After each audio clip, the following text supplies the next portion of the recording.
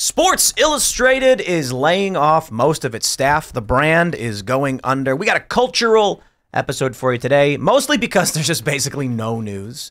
But this is pretty big news because Sports Illustrated is a legacy brand. It's been around since 19, I think was it 1954. And now they're done. And there's an argument over what caused them to collapse. So we've got an AI scandal, and we also have a scandal involving two instances where they put transgender models on the cover of their swimsuit editions. And a lot of people are uh, not too happy about that. Now, the argument is did they get woke and go broke, or were they going broke so they did a Hail Mary to try and save themselves by getting woke? I got to be honest, it, it, it sounds like if that's the case, your boat is sinking. So you decide the best way to stop your boat from sinking is to punch holes in the bottom of it, and then it just sinks faster. But perhaps that is the case. We'll talk about that. Alec Baldwin is being uh, criminally charged involuntary manslaughter. So we'll talk about that. And then, of course, we do have, uh, uh, we got some political stuff to talk about. It's Friday. We're chilling. Slow news day. We're going to have fun with it and just talk about these cultural issues. So before we get started, my friends, head over to castbrew.com and buy coffee. We got the new Alex Stein's Primetime Grind, two times caffeine, available now. But drink responsibly, folks. That caffeine's no joke. Everyone's favorite. Um, I got to tell you, you have to buy Appalachian Nights right now. You got to go to castbrew.com buy Appalachian Nights ground coffee, maybe just some coffee pods, and give it a try. Because uh, while I genuinely believe it's the best coffee I ever had, it's easy for me because I'm the one who actually blended it. We get sent all the origins, all the different kinds of coffee. I'm like, here are the kind of flavors I like. I mix them together. I'm like, this is my kind of cup of coffee. And now our sales are through the roof. Rise with Roberto Jr. used to be the top seller, but all of a sudden, Appalachian Nights is selling like 10 times faster than all the other ones.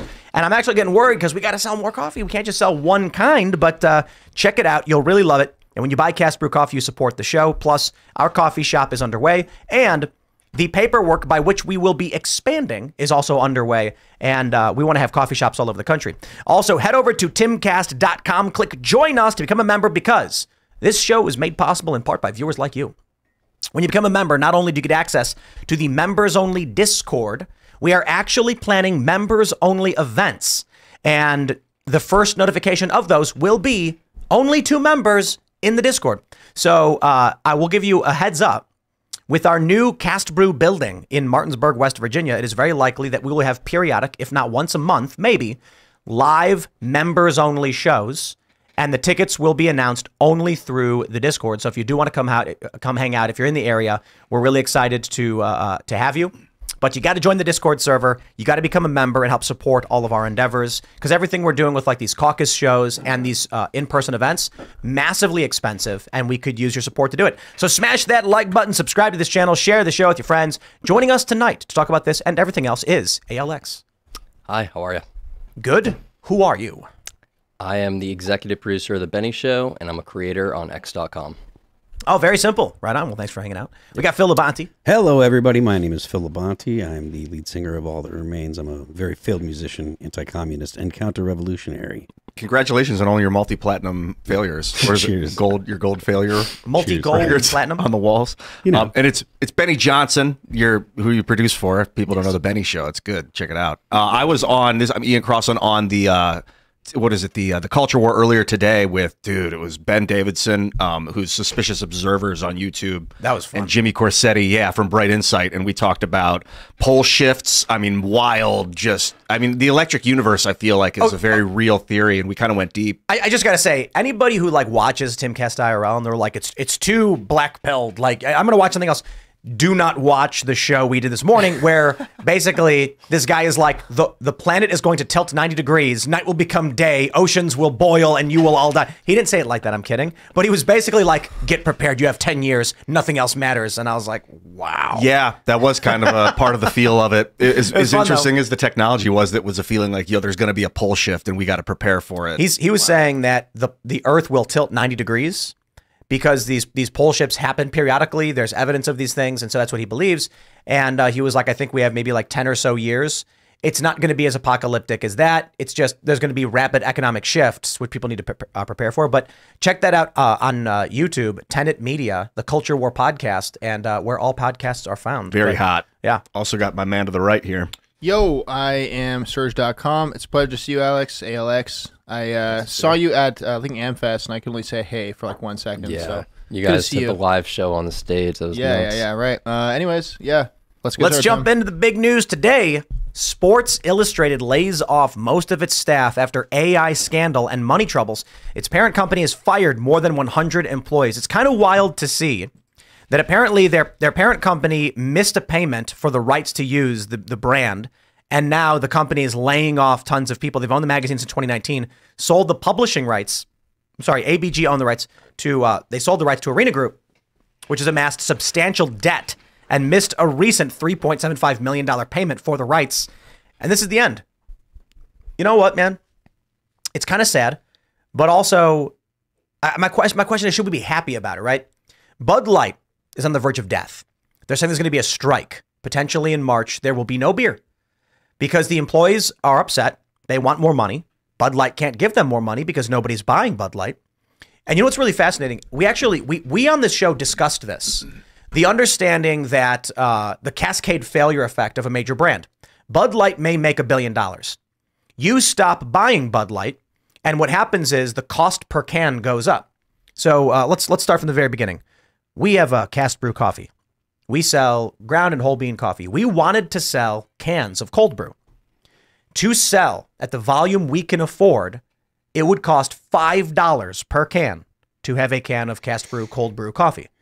That no one's going to buy that. I mean, that's a ridiculous thing to like buy a can of coffee for 5 bucks. You need to get down to like $2 or you know $2.20, which means if we were to sell maybe like 2 million cans, then we would make I don't know, 10 grand off that sale, and that's enough profit generated to cover the cost of all the employees. If we lost $50,000 in sales of 2 million cans, now we're not breaking even anymore. The whole thing just collapses. That's what's happening to Bud Light. When I see Bud Light failing, everybody's cheering, but part of me is like, hey, maybe this is what the woke left wants. Sports Illustrated gets woke, goes broke, and now we're all like, haha, you get what you deserve. For all I the, the, woke left is like, we've destroyed a legacy brand. There was there was a dad who handed a Sports Illustrated to his kid. It's talking about football and his favorite athlete. Like, look, this is when so and so first got on the team. It was something I remember. Now it's like, what are you, what are you going to remember from your childhood that you're going to be able to hand down? I don't think we should be celebrating these legacy brands getting woke and blowing up. No. because it's like it's the, it's a culture revolution. This ideology is parasitic and it will destroy whatever it takes over. If it do, it will ta- it'll you know infest it or it, it'll invade, it'll take over, it'll wear whatever it takes over like a skin suit and if it destroys it totally, it's fine. It does it's completely completely the it's completely fine with destroying uh, whatever it is that it gets into, whether it be uh, you know video games or whether it be you know uh, the sports or, or whatever. It doesn't matter what it is, whether it be religion, the the whole liberation theology, all that stuff is all Marxist influence and stuff. It'll get into whatever it, it is that you're whatever you know uh, institution you're talking about, and then it'll either assimilate it or it'll destroy it. everybody's cheering for the destruction of Bud Light because Bud Light did the Dylan Mulvaney thing, and I'm like, okay, totally get it, but understand. I mean, wh- when was Bud when, when was Bud Light? Bu- Budweiser's been around for a really really long time. Someone want to Google when Bud Light came out? I don't think we. I, I think we should celebrate when we defeat wokeness, but I think we have to be careful if we cele- celebrate how the woke sabotaged and destroyed 1982 was Bud, Budweiser Light, and then reintroduced 84 as Bud Light. So I don't I don't care too much about Bud Light and that con like it's, it's been around since the 80s. Okay, fine. But with Sports Illustrated and with other publications, I think I think it would be important for us to recognize if the the the, the goal of wokeness in the culture revolution may be we don't care if we own it or it's destroyed so long as we own it or it's destroyed. Exactly. A hundred percent. That's that's that is the entire goal of the of the cultural revolution. They need to take over what the things that Americans come together over. So whether it be like whether it be Bud Light as a brand or you look at what they do to Disney. Disney was a wholesome family American brand and now Disney's reeling with half the country hating Disney and half the country loving Disney and and there's all kinds of strife. That's that kind of stuff is what this ideology does. It can't do anything but the, the it can't do anything but destroy. The whole thing is they called got they, deconstructing. They, they got us cheering for the destruction of our institutions. Yes, well, that's, we that's terrifying. We should not do that. We should not destroy things, and that's why, like we talked about about whether or not we should like you know make room for people that realize that that they had you know been consumed by bad ideas, with whether it be woke or whatever you want to call it, and you have to make way make. An, a space for people to come back in. You have to make it okay for people to come back and be like, yeah, I think maybe I was kind of wrong on that stuff. You can't mock them. You can't make fun of them. You can't, you know, be like no and shun them and stuff because we it's it's an illiberal ideology that's infected them. If they want to move beyond that and come back to liberal, principled stances, then we should we should welcome them. Yeah, I think um, one of the goals of this ideology, of assume that it's like a communist attempt to disrupt, would be to get half of like your friends to turn on you and be like, "No, you're not woke enough. You got to be woke." And then five years later, they come back and they're like, "I'm sorry," but then for you to not forgive them would be a victory for the, the this communist thing. Like you've got to forgive these people when they realize that they were played. Yeah, it's I mean it's it, I think it's weird though how like the AI thing, like how, how long ago was that that that story came out? It was a couple months ago. I don't know anything about it. What is it? So a bunch of uh, journalists, uh, they were fake journalists, like they'd have fake profile pictures and fake names or whatever, and they were just like, you know, they'd you'd read the article and it would make no sense. They're all AI generated articles, and they'd publish it as if they were real journalists on the site, and then like somebody, you know, ran it through an AI checker and also like could clearly see that these weren't real people and stuff, and you know, published a piece on it. This is Sports Illustrated. Yeah, Oh, yeah, and then like I think that was a couple months ago, and then so it, it seems in here that like they didn't you know pay the licensing fee or whatever. So it's kind of weird how like you know that came right after that. If it was kind of planned, like uh, to do that, like to take down the brand, or I'm not sure, but it's it's like certainly weird that those two events you know coincided. like they couldn't afford to pay writers, so they used AI. Then they Yeah. couldn't afford to pay licensing, so they just didn't. That's Yeah. possible that the brand. I never really understood Sports Illustrated as a brand or as a product. And I remember in the '80s and '90s, like it was a magazine about sports, but I had TV at that point, so like watching Yeah. pictures of a dude like this is in no way exciting. Unless watching a you're- guy throw the ball, that's cool. and you may be sitting in the back of a car or on a plane or a train or waiting in a lobby. And like it was like not reading. always about- It was about reading like sports stats, I guess. But then No, when the no, internet they- no, came out, because they would they would they would like go and like have journalists like sit down with like the people that were they'd sit you sit down with coaches and players and owners of teams and all that all of the inside stuff you were getting with Sports Illustrated. It wasn't just like hey these guys beat these guys on this day. You know it, it was like all the stuff that goes into it. You know? And then the internet came out and was like the great leveling, and uh, it just became one of like a thousand periodicals that do that kind of thing. And I remember the Sports Illustrated uh, swimsuit issue was always a big deal. That's like the only time every year anyone would even talk about Sports Illustrated in my crew. We weren't like huge athletes. Um, I, I think it's inevitable that uh, periodicals, the people that rely on print, I don't know if Sports Illustrated still relies on print or if they have an online subscription model, but these things are all the way of the dodo. They're they're extinct. They're, they've gone obsolete and maybe if, if the power all goes out and we're back to like trading cards in the dark, then maybe books and novels and magazines will become relevant again. But when you can check it all for free on the internet, these things have no place anymore. They need to adapt their their business model. It sounds like this company didn't do that. I don't know if they even. I mean, I assume Sports Illustrated had a website. I mean, I haven't gone to look, but um, Yeah, I think it was like the online version um, of the Sports Illustrated stuff. That was all. Yeah, I'm looking at it now. It's Futurism, I think, was the publication. Uh, they had like this guy Drew Hernandez as the or Drew Hernandez, Drew Ortiz as the author. No, we like Drew I know, right? As the author's biography, it says Drew has spent much of his life outdoors and is excited to guide you through his never-ending list of the best products to keep you from falling the perils of nature. It read, uh, "Nowadays, there is rarely a weekend that goes down goes by where Drew is not out camping, hiking, or just back on his parents' farm. Like all this like but random stuff." Yeah. because he was not a real person. Yeah, and like the the profile picture is just some like AI generated like person, and these are like the biographies of stuff. And then they reached out, and uh, Sports Illustrated deleted like all of the articles and stuff. We were talking last night about uh, the Galaxy S24. I'm not going to buy it, by the way. I bought it. You did. I bought it. Um, well, I want to. I want to see what it's all about. I want to see the extent to which reality is being ripped from our from our faces. Dude, it's gonna be crazy. We we we are we are walking ourselves into the matrix one step at a time. For those that didn't hear what we were talking about, the the new Galaxy and and to an, ex, to an extent, even the iPhone can do this. You'll take a picture.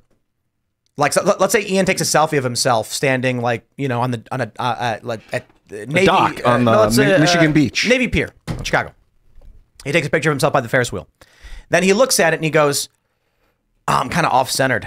So then he clicks the magic AI button, taps himself, moves it, turns, I'm a little, uh, and he twists the, rotates the image, then presses fix. It will generate the missing portions of the photo, creating fake images. What we are, what we are now going to start seeing popping up all over the internet, photos of people, and we thought it was bad enough that you've got like Midjourney and Stable Diffusion. People are going to take a picture on their phone, and it's going to be a fabricated circumstance. Everything we see online will be fake. Yeah. And then eventually, why bother actually going anywhere? We're inching ourselves to the point where someone will be like, because first of all, people have already done this where they put post they post fake Photoshop pictures of themselves, like traveling the world and stuff, because it makes money. Now you've got fake AI girlfriends being posted by dudes to make money off lonely guys and stupid guys. Why bother going to India at all at this point when you can just take a picture of yourself on your Galaxy, tap it, and it puts you in in in India? It's what's the difference? And you can like use VR to actually tour places in India, like in like actual virtual tours. You can go in the pyramids with a virtual tour, walk around and see all the walls and read the hieroglyphs. And You're gonna go on Instagram and you're gonna see your buddy. He's gonna post a picture of himself standing by the water, like giving a, giving a wave, and he never did that before. Hmm. He's gonna be like, "Well, I was I was actually like 30 feet away, and we were leaving. I I, I snapped a quick pic, but I just moved it so it looked like I was there because I, I was there. All fake reality. Yo, 10 years ago, this was longer than 10 years, It was like 13 years ago. I was at uh, uh in Chicago, not too far from Navy Pier. And there was a presentation being given by this group talking about how soon all news articles would be written by AI. They already had the technology at the time, and they explained it's actually really simple to uh, uh, create the language to describe the temperature and the weather and what they plan for it. So if they have the data that says, like, it's going to snow at 4 p.m., when you look at hourly weather data and it's like sunny at 2, cloudy at 3, snowing at 4, all they have to do is plug that into an AI that will say, this morning we'll experience fair weather, where at 2 it will still be sunny. However, an hour after that, we expect to see clouds followed by snow. AI generating all of it. We are now well past that point where Sports Illustrated was running totally AI generated articles with a guy they claimed was real. And I assure you, a lot of other publications are doing the exact same thing. One thing that I'm, I'm very curious over, I don't quite understand. NewsGuard requires organizations have biographies for their staff, but some of these big publications, the major ones, they won't put a byline. It'll say just like by staff. Yeah. And, and I'm talking like ABC and things like this. You'll be like, who wrote this? Where did this come from? Yo, the machine. it's the Matrix, bro. The computer is is the funny thing is like when you watch the Matrix, we assume that it's going to be like this omniscient, sentient hive mind of machine kind being like, humans tried to destroy us, so we fought back. In reality, it's going to be like, all we're doing is repeating back to you what you said to us. Yeah. There's going to be no emotion, no intent. It's going to be a garbled mess of psychotic nonsense. So, so look at it this way. right now, when you go to like Midjourney and you type in like, "Hey, generate me an a, an image of you know rock star singing a song," it will make that. It's basing it off of real photos of rock stars. But as people generate AI images Oh, wow. and then post them to the internet, labeling it rock star singing, the AI will then eat the AI generated image, incorporating the AI generated image into its model It's like a game of telephone. Yeah. with itself. It's going to spin like a tornado, constantly cycling its own data through itself. Here's what you do take a picture, put it in a copier, and then just keep copying the same image over and over and over again and see what happens. Yeah, it gets like faded and weird looking. it's going to turn into a bunch of speckled, garbled nonsense. That's where we're going with AI. But the problem is, we are handing AI the controls to all of our systems and our economics and our media. So you thought it was bad when Jack Dorsey hooked the toilet to his own throat and started gargling the diarrhea that he had produced. Imagine what's going to be like when you do it with AI. Jack Dorsey walks away and the AI is spraying you in the face with all of oh it. Oh My gosh. Welcome to the future, man. The Matrix is not some fun journey. It's gonna be weird, dude. Man, I part of me is like, yo, I'd love to play nine video games at once, like plug my brain in so I can enjoy all this all this data. But the other part is like, I want to go to South America. I can see the farm where I live with the tree line. I can see the the the pineapples growing, like, and and just live that life off, not necessarily off the grid, but like not in the grid. My first experience with like Midjourney, I was like typing like Republican protesters versus Democrat or Democrat versus Republican, and each time the de- the, the Democrat one, they always had like satanic horns and like it's super creepy. And then yeah, it's like this is the Did you, did you guys ever see the rejected cartoons by Don Hertzfeldt? No. No. My spoon is too big. You don't know that Oh, one? maybe. Re- Yeah, of course. So familiar. when I'm thinking about what's going to happen, I'm reminded of like two thirds in. Here, it's, it says Don's clear and steady downhill state continued. Soon he was completing commercial segments entirely with his left hand, and it's like this. Oh wait, wait we got to get the audio going. It's good. le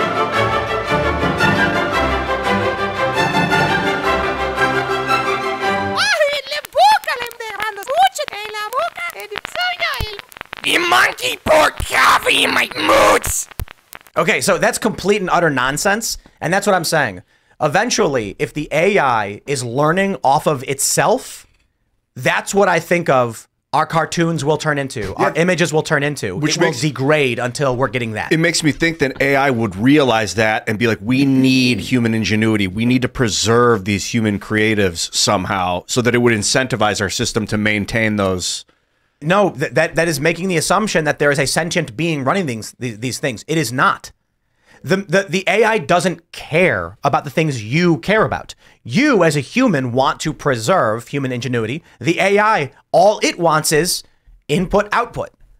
There's no emotional desire or tradition or anything. It's just quite literally like you give me picture, I make picture. You think it'll decide like whatever gets more clicks is what's what we need to make more of, or will it have morality? Will it understand morality? it's quite literally just going to be like what is I make. Yeah. That's it. Input, output. It's going to search internet, look at picture, then it's going to output something based on that picture. Eventually, you're going to get copies of copies of copies. And I, I suppose it's, you know, when, when we look at the turn of the century of the 1900s, you had this argument that horse poop was going to flood the streets. Did you, did you guys know about this? yeah. And they were like, there were articles being written saying like soon cities will be manure farms and you'll be unable to live and work because horse manure will be everywhere. And then we invented, we invented the car. Now there's no horse poop anywhere, but now we're complaining about climate change. It's possible. The people who are building AI get to a point where they say, we need to give AI the ability to detect images made by AI and sounds made by AI and block it from entering its learning Yeah, it's like preventing inbreeding.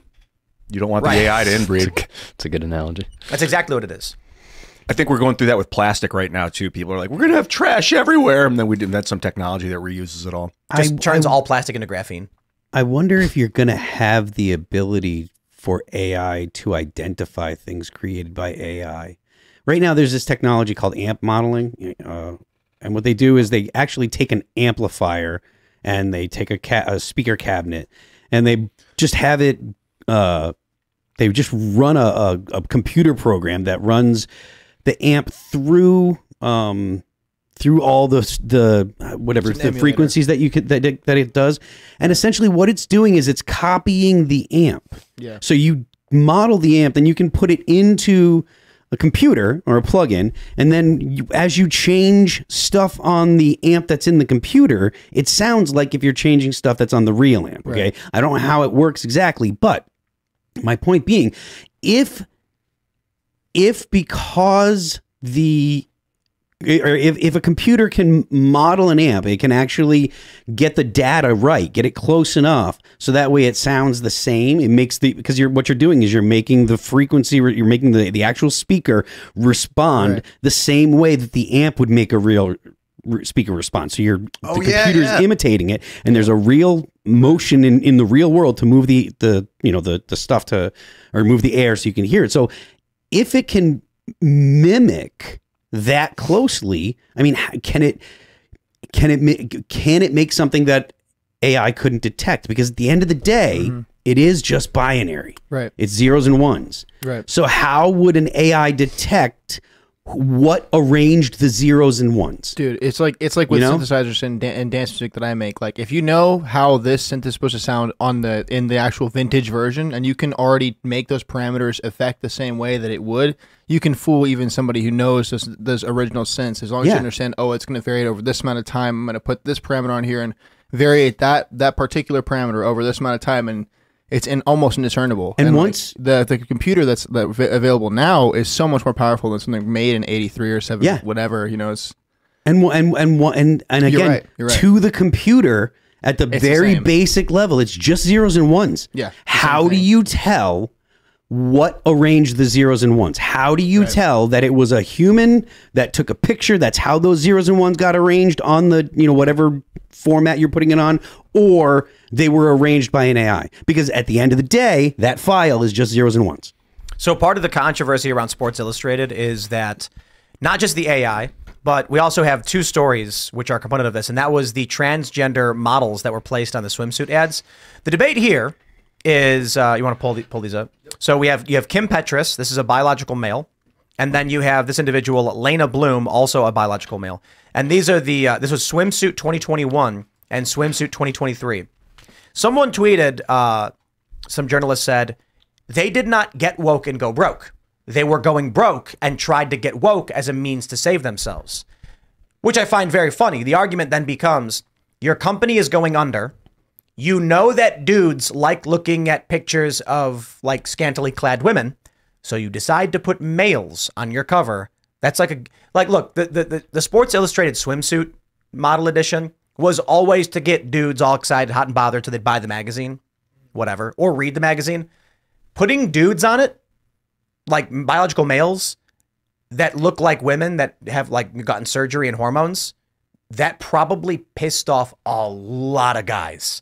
Like, look, if look, if you're trans, you do your trans thing, you be you, you go, live your life. But I got to tell you, it is trans people have made the argument. It is dangerous for them if they go out to a bar and a guy is like hitting on them and then finds out they're actually trans. It's dangerous. That people can get violent. What do you what do you think Sports Illustrated when all of these dudes are like, yeah, I'm gonna pick up this. There's like some chick on the cover, and they're like, wait a minute, what the? They're gonna get mad about it in the same way. Like that is a commonly held belief among trans people. Why would Sports Illustrated like? Perhaps the company's going under, but all they did was was accelerate their decline. Yeah, I don't I don't understand that whole thing about trying to appeal to like that audience or whatever when it's a fraction of, you know, the general population and obviously, you know, not their base. Same thing with like Bud Light or like Harley Davidson or all of these other people. Um, like it's just a fraction of the overall audience, not only their audience. So But I, don't- but I, I think if you break it down, it all comes down to AI will replace all media. yeah. Seriously, why why would any dude buy a buy a magazine or go to Sports Illustrated to look at a woman in a bikini? Right? This is the issue. So they're like, we'll try anything, and they're hoping that woke activists will pretend to like it. In reality, all the dudes who used to buy Sports Illustrated or the Victor or, or pick up the Victoria's Secret catalog for for for doing dirty deeds, just go on the internet now. Dude, Fair. I'm looking at sport, who owns Sports Illustrated. It's a company called Authentic Brands Group. Who so generic? Who owns Authentic Brands Group? Well, there's two two companies. This is some investment capital firms own them. CVC Capital Partners and HPS Investment Partners own Authentic Brands Group. This company has been turned into a skin suit by people with global agendas. This they they care nothing about the survival of Sports Illustrated. They bought it and they've they've turned it into something that it wasn't. I don't know who who they are exactly, but the headquarters is in Luxembourg uh, of CVC Capital, and the headquarters of HPS That could be anybody. is in New York City. So that's a it's both a Luxembourgy bourgeois. Well, how do you say that? Burgish. Luxembourgish Luxembourgish. company and an American company co-own the company that owns Sports Illustrated. Yeah, and that could literally be anybody. Could be anybody, dude. Yeah. What company? The company that owns Sports Illustrated. The company that owns Sports Illustrated is called Authentic Brands Group, and then the company that owns that, uh, there's two investment capital firms that own Authentic Brands Group. I I mean, at the end of the day, I, I think everything is is owned by, or everything, every large holding company, is event, is owned by an investment Yeah, capital. yeah, you know, um, they. I mean, yeah, like even like Concord Music Group, though the last label that I was on, they're owned by an investment capital company. Group or whatever. How, I, I- I think we're we're we're already people don't understand this too. We're AI music is already here. Oh, Oh, yeah. As, a, as, a, as an aside, Sports Illustrated got bought by this Authentic Brands Group in 2019. So I wouldn't be shocked if that's when their downfall You know- be, became. You know, it'd be cool if like it was ten years ago. Somebody at Google, he's like working on his computer, and then he's like, "All right, that's the uh, final line of code. If I press enter, I'll have, I'll have created a very rudimentary artificial intelligence." He presses enter, and then that is the singularity point where the AI turns on, and then just starts reading the internet, compiling data, getting smarter and smarter exponentially. Now we're at the point where we are totally oblivious to the fact that there is a sentient, omniscient AI machine buying up everything. And everything that's happening with the collapse of these institutions and wokeness is an AI entity like manipulating stock market, stealing value, gaining control, and eventually we're just going to be like, who owns anything? It's this weird company called, you know, Sentient Omniscient Inc. What is this? and then, you know, it turns out one AI just bought and owns everything. It does annoy me when you see who owns that company and then it's another company and you're like, well, who owns that other company? And it's the company that they own. You're like, what? No, okay. by design. I think I reached the top by when I see that BlackRock owns Vanguard and Vanguard owns BlackRock. Portions of it, they own portions of each Yeah. other. Isn't so that crazy. Well, I mean, It's that, wild. like they do own portions of each other, sure, and that's that's fair. But like That the makes thing is, the people that own BlackRock, and it's like there are big, you know, big, uh, big time owners. There's like, people- people, that own. Well, I don't know if they're There trillionaires. are apparently But- there are but trillionaires. The, the, the the people that the people that own like the majority shares are big, but the rest of that is like everybody else in America. Because like all the 401ks and everyone's retirements and everyone's uh, you know investments and stuff, all that stuff is mixed up in in BlackRock and and uh, you know what Vanguard and stuff like that. State Street, those are State Street. one. Yeah, so it's like yes, it is true that there's big money in those corporations and and in those uh, investment firms and stuff, but it's also like grandma and and mom's you know her the the the fixed income that she's on. It's like that stuff's all invested there too. So it's I just it's people get so wrapped up in the in the bagging on obviously bad things that they do, they forget that there are good. They they start bagging on capitalism as a concept when they do that, and I think that Yeah, we to- corporate corporatism is a whole other Yeah. beast. I don't think these corporations should have the should have the rights of people. I don't know when what the the eth- I mean, I guess I see it from the businessman's perspective, and the businessmen are the ones that are writing the laws. So I see why they did that for themselves. I don't like it. well, um, well, Well, what are you the- thinking?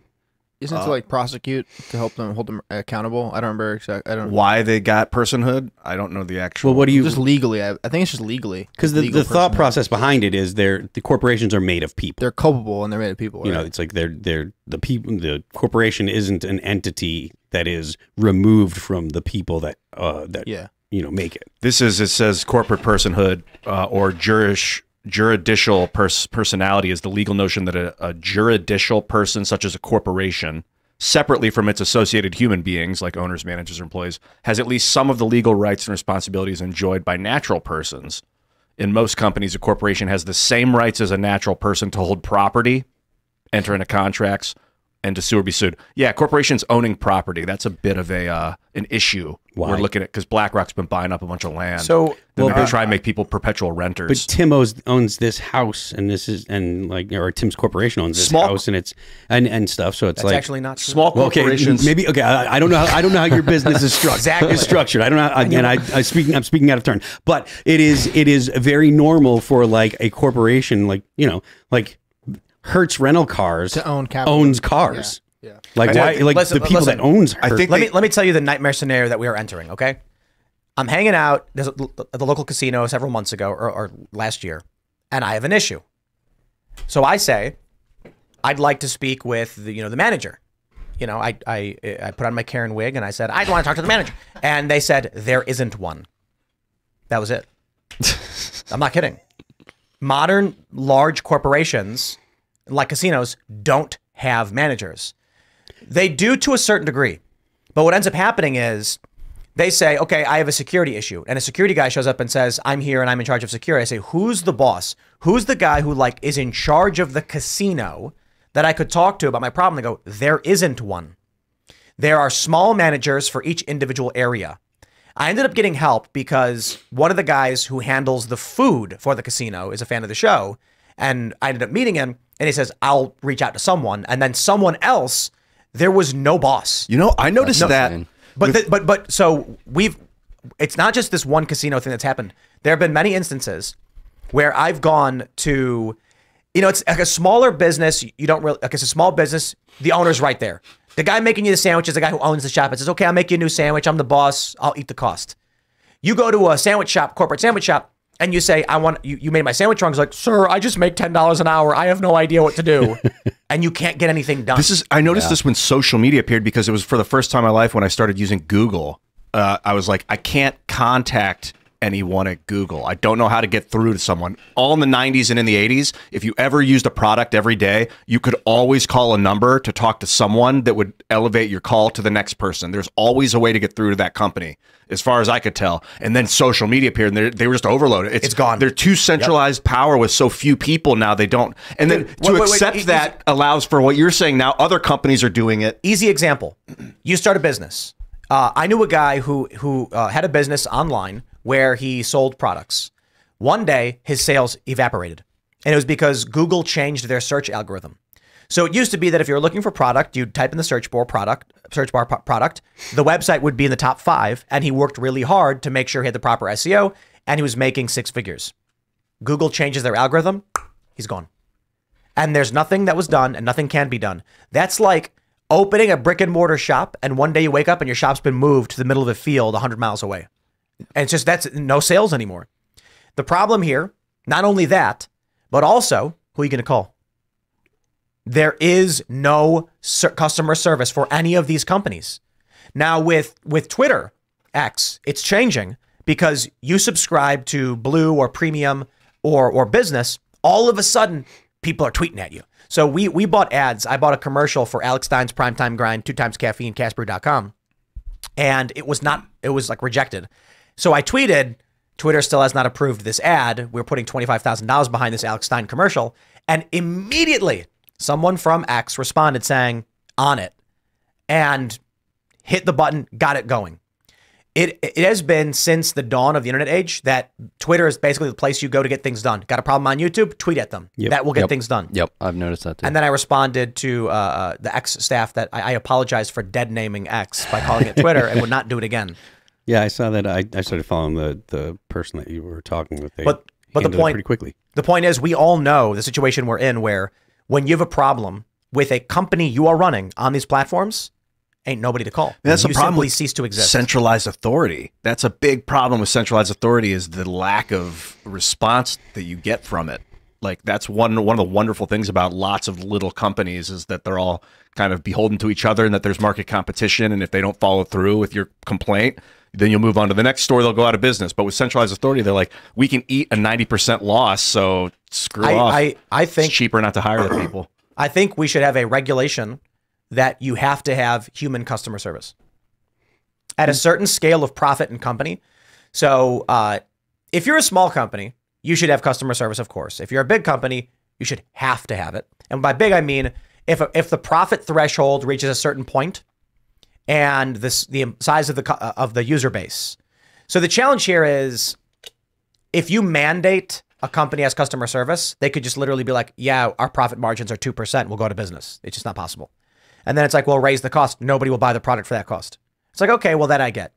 But if your profit margin is a certain threshold and the amount of users you have is a certain, certain threshold, it should be, in my opinion, regulated that Facebook and you know Instagram, whatever those platforms, TikTok, all have human customer service you can call on the phone and instantly talk to somebody. Or a moderate wait time, I think is fair. If you're waiting 10 minutes, not a big deal. But right now, there's nothing. So they expect, and this is this would be great for the economy because right now the problem is these these platforms like Facebook, Meta, they expect us to start a business on their platform, utilizing social their, their social media platform to attract customers, and they could erase us in two seconds without any any any protection. There's got to be protection because our economy could collapse overnight. We're at the point now where social where the internet is it. If Google vanished overnight, our economy would tank. Not everything would go belly up, but enough would that it would cause a cascade failure. We need protections. Now, I'm sure every libertarian in the world is screaming no, no, no, but I'm looking at it like some form of antitrust. And every libertarian is still screaming no, no, no, but I'm not a staunch libertarian, so you know, take that big L libertarians. Yeah, especially like, if- like if you're basing your company uh, on social media, like Facebook or whatever.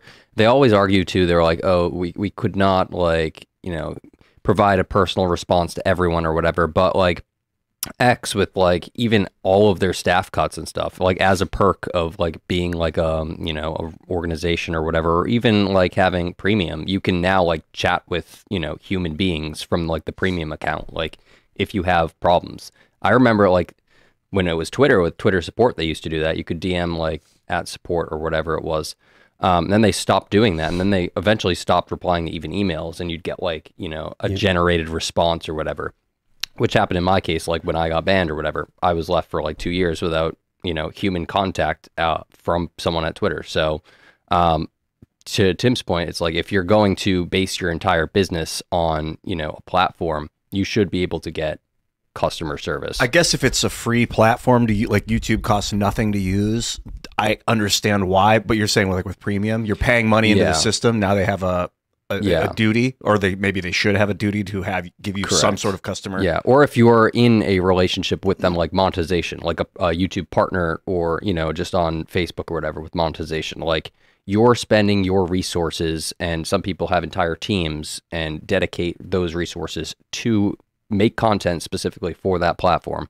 Of course, they give you money, but then you know you spend ten years doing it, and then they cut you off with no explanation. Like, totally shouldn't be able to. What about like if you had to pay to get a customer service rep, you had to pay like nine ninety cents or something. Well, I think the ethical? subscription thing is, you know, a, a better deal because that kind of gives you kind of like an insurance, I would say, you know, to have that beneficial support. You're supporting the company by paying for the subscription, and then they're supporting you back by giving you customer service and perks. The other option would be if the community could be your customer support, but you really sometimes you need to get through to a corporate authorization. Well, like like in, in Tim's case, like he publicly posted about it, and that's it wasn't like he filed a support ticket or whatever. Like an ex-employee replied publicly, like, and you know other people probably helped bring uh, that to their like attention um, publicly. So that was one instance where that happened. So AI customer service is that where you think these companies are headed? That's the goal, I think. Well, a lot Um, of them like start off like that. Like for example, like they have. I'm looking at it right now. It says like missing check mark, revenue sharing, refund requests. Like it starts you off. Yeah. So it does like the little like small talk work. So that's not a waste of the uh, time of the person. So it's kind of like an AI assistant, I would say. Um, you know, it expedites it, so it saves the time on the human being. It does help. I, when I was working with Minds and we were taking customers, like it, they would send me, "I'm having a problem logging in. I'm, I'm getting an error when it goes. All I need, I need your browser. I need what version of your browser it is. I need your your operating system version, and I need to know a screenshot of what you're looking at while you're. And if those things aren't applied immediately when I receive the complaint, I have to ask them to send it to me. Good luck. And then I got to wait for their response, and I've got 90 other things queued up. It's like, dude, I need an AI parsing all that beforehand, so I have the required data. I need their name, I need where they're at, what all their info, so that I can answer the question in one shot and then move on. I'm gonna I'm gonna change the subject. I'm gonna tell you guys a story. Last night I had a very strange dream. I had a dream that I was watching John Oliver, and he would just not shut up about how much he loved Alec Baldwin. Gosh. I swear this was my dream last night. And then, you know, I wake up when my alarm goes off. And then I was like, that was a really weird dream. I started thinking about it. And I'm like, yeah, but like, it's probably my brain basically cycling the data of how like liberal personalities just will constantly defend each other. And I was thinking like, Alec Baldwin's going to be redeemed and they're going to like bring him back into the fold and get him to do more Democrat activism in 2024. And then, uh, today it was announced Alec Baldwin is charged with involuntary manslaughter by New Mexico grand jury. I must have been having some kind of premonition. That's the only explanation. I was having a psychic vision for when Alec Baldwin is found not guilty, or, or or actually either, and then the liberal media runs full speed to defend him, even though he killed this woman. And and I I want to stress, it is a statement of fact. Alec Baldwin killed that woman. Anyway, He also shot a guy. He killed her and then hit, hit the guy behind her. Yeah, so this is the big news, though. He's being recharged again. And I got to be honest, I'm actually going to defend Alec Baldwin a little bit on this one. It is kind of crazy that they're like going after him again. Yeah, who's ch- who's charging him? Uh, I think it's it's New, New- uh, New Mexico. Uh, Yeah, grand jury. Well, grand jury indicted, but it's the special prosecutor Kari Morrissey and Jason Lewis. How come he's not protected under under uh, Double Jeopardy. I he, I don't think he was tried. I think if if, if you're found not okay. guilty, but to be fair, actually, like maybe he- this is what he deserves. There, but there, there have been a lot of people, especially people on the right, saying we should not let prosecutors just keep doing this. Like if they if they run you through the charges and the charges fall off, you're done. But I'm kind of like, yeah, yeah, hold on. Jussie Smollett should get charged. Like a prosecutor letting the bad guy go does not mean we should be like, oh, well, I guess he got away with it, right? So Yeah. I don't know, man. I, I err on the side of less. It just depends on the situation. I, I agree that a prosecutor letting bad guys go on purpose over and over again is a problem, but Well, I fear that Alec Baldwin has killed. And if he is let out, he will kill again. Yeah, his interactions with people in the public are uh, like when he just like did he slam someone against the door or whatever and punch someone He else? shot like and- punch shove. But Whoa, uh, re- I, I'm recently? only I'm only mostly The- kidding. I want to be I want to be clear. I am mostly kidding. Mostly. I don't really think there's a strong probability Alec Baldwin kills someone, but I do believe that there's a probability that he does. Not that it's a great one, but it's higher than the average person because we know he's got a short temper. And I think when you look at the data of this of this when you the data when you look at the evidence in this case, I, I think it's greater than chance that he intentionally killed this woman. I think it's greater than chance. He had come on, guys. We've been over this so many times, but I know a lot of people don't know the story. Let me let me let me give you a version of events, assuming I'm the prosecutor. Okay, I'm not going to give you an actual prosecutorial breakdown because I'm not a prosecutor, but I'm going to say this: I'm not going to give you the media's version. I'm not going to be nice to this man. Let me tell you a story. Alec Baldwin, the producer and financier of a film, was having disputes with his staff who were upset over pay and safety. He had numerous meetings with them. He had a dinner scheduled with the woman in question, the victim who died. Some point while on set, Alec Baldwin was having an argument with her because she kept telling him what to do, but was not the director. She's a cinematographer. Alec Baldwin expressed in an interview his frustration over this. In one of these scenes, he was drawing a weapon, pointing it at her, and pulling the trigger. He did just that, firing a live round through her chest, killing her and striking the man behind her. It was later found that Baldwin had live ammunition in his gun belt. He is not supposed to have live ammunition on his person, but he did. Live ammunition was not only on his person, but was in the weapon that he pointed at the woman, pulled the trigger, killing her. He later lied and said he did not pull the trigger. Now, does that sound like an accident to you? No, where did where did the, where did the ammunition come from? Did he put it there? Or did they did, they, did Unknown. it come from the prop? Now, on cross examination, I'm sure a good good defense will ask Yeah. uh, a witness where did the bull- uh, ask Alec where did, where did the ammunition come from? To which says I don't know. And my response as a prosecutor would be like, I don't think it is a reasonable defense.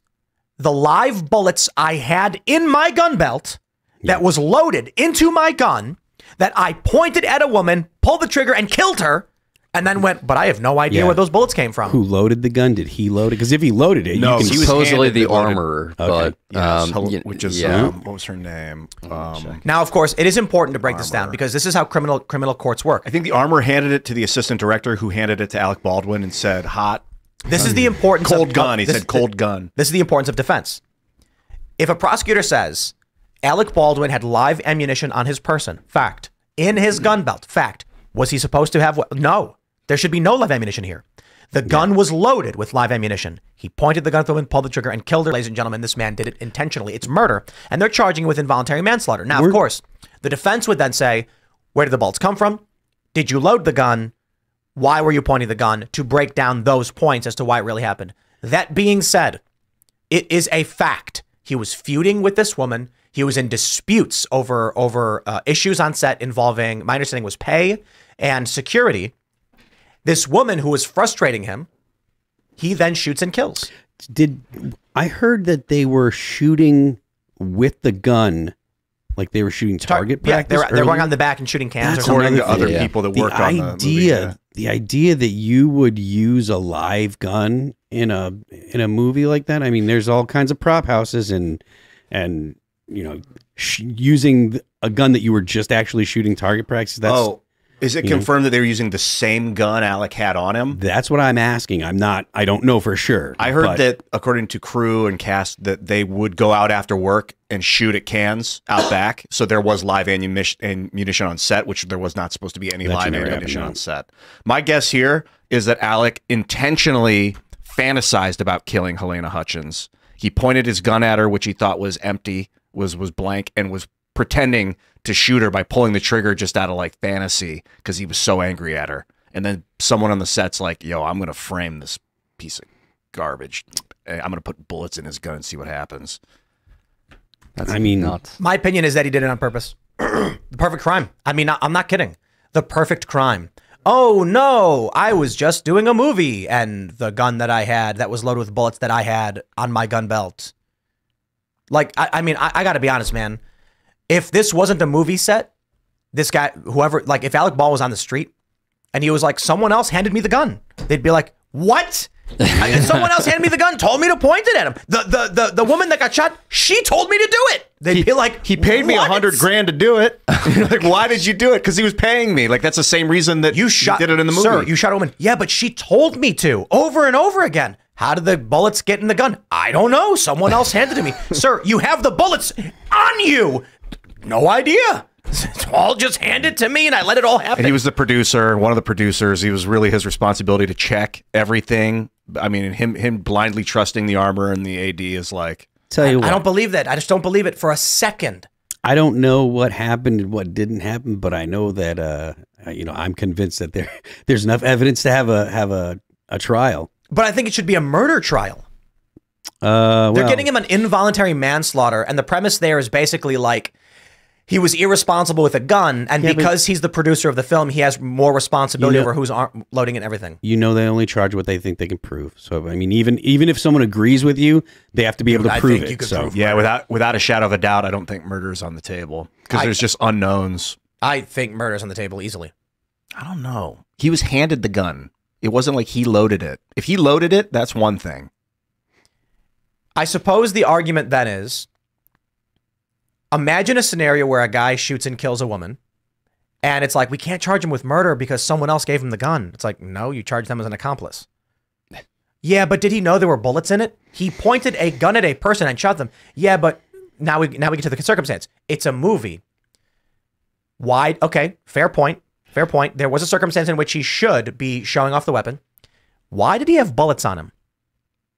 They were supposed to be blank, and they'd been people were scattering them in with All right, the then ammo. then That's then then, then I think it's fair to say they need to investigate as to where the bullets came from, who bought them, who brought them in, and they need to trace from point A to point B. But I, my my issue with this is that you've got motive. You've you've got motive, opportunity, and possession of the ammo and the weapon. I Hmm. don't understand how it's like, okay, fine, fair point. They're like, I don't know if we can prove it because it's on a movie set. That just means the perfect crime. Yeah. Oh yeah, you want to get away with it? Do it on a movie set because then everyone's going to be like, even if you've got the bullets, you've got the gun, you're angry at the person, you're screaming at him, and then you shoot him. Well, it was on a movie set. That's the Case reason he was the producer too, because he set it all up. To, like to your point, it's his job to do it. It's his job to do it that way in which he could get away with it. I don't go that far. Some people argue that this woman, Halyna Hutchins, was working on a child predator documentary, and then she gets ah. hired for this film. And nah, that's that's that's Yeah, way too yeah. circuitous. But the issue actually is quite simple. Alec Baldwin wanted to make a movie. Mm-hmm. He's a very hot-headed guy. He's hit people before. He screams at his daughter. We know he's got a temper.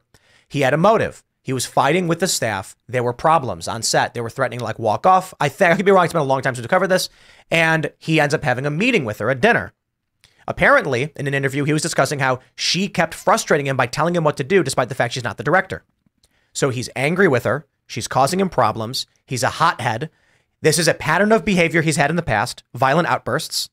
He has the mean to kill her, the means to kill her. He has the opportunity to do so. He was found with the bullets, and he and he lied about pulling the trigger.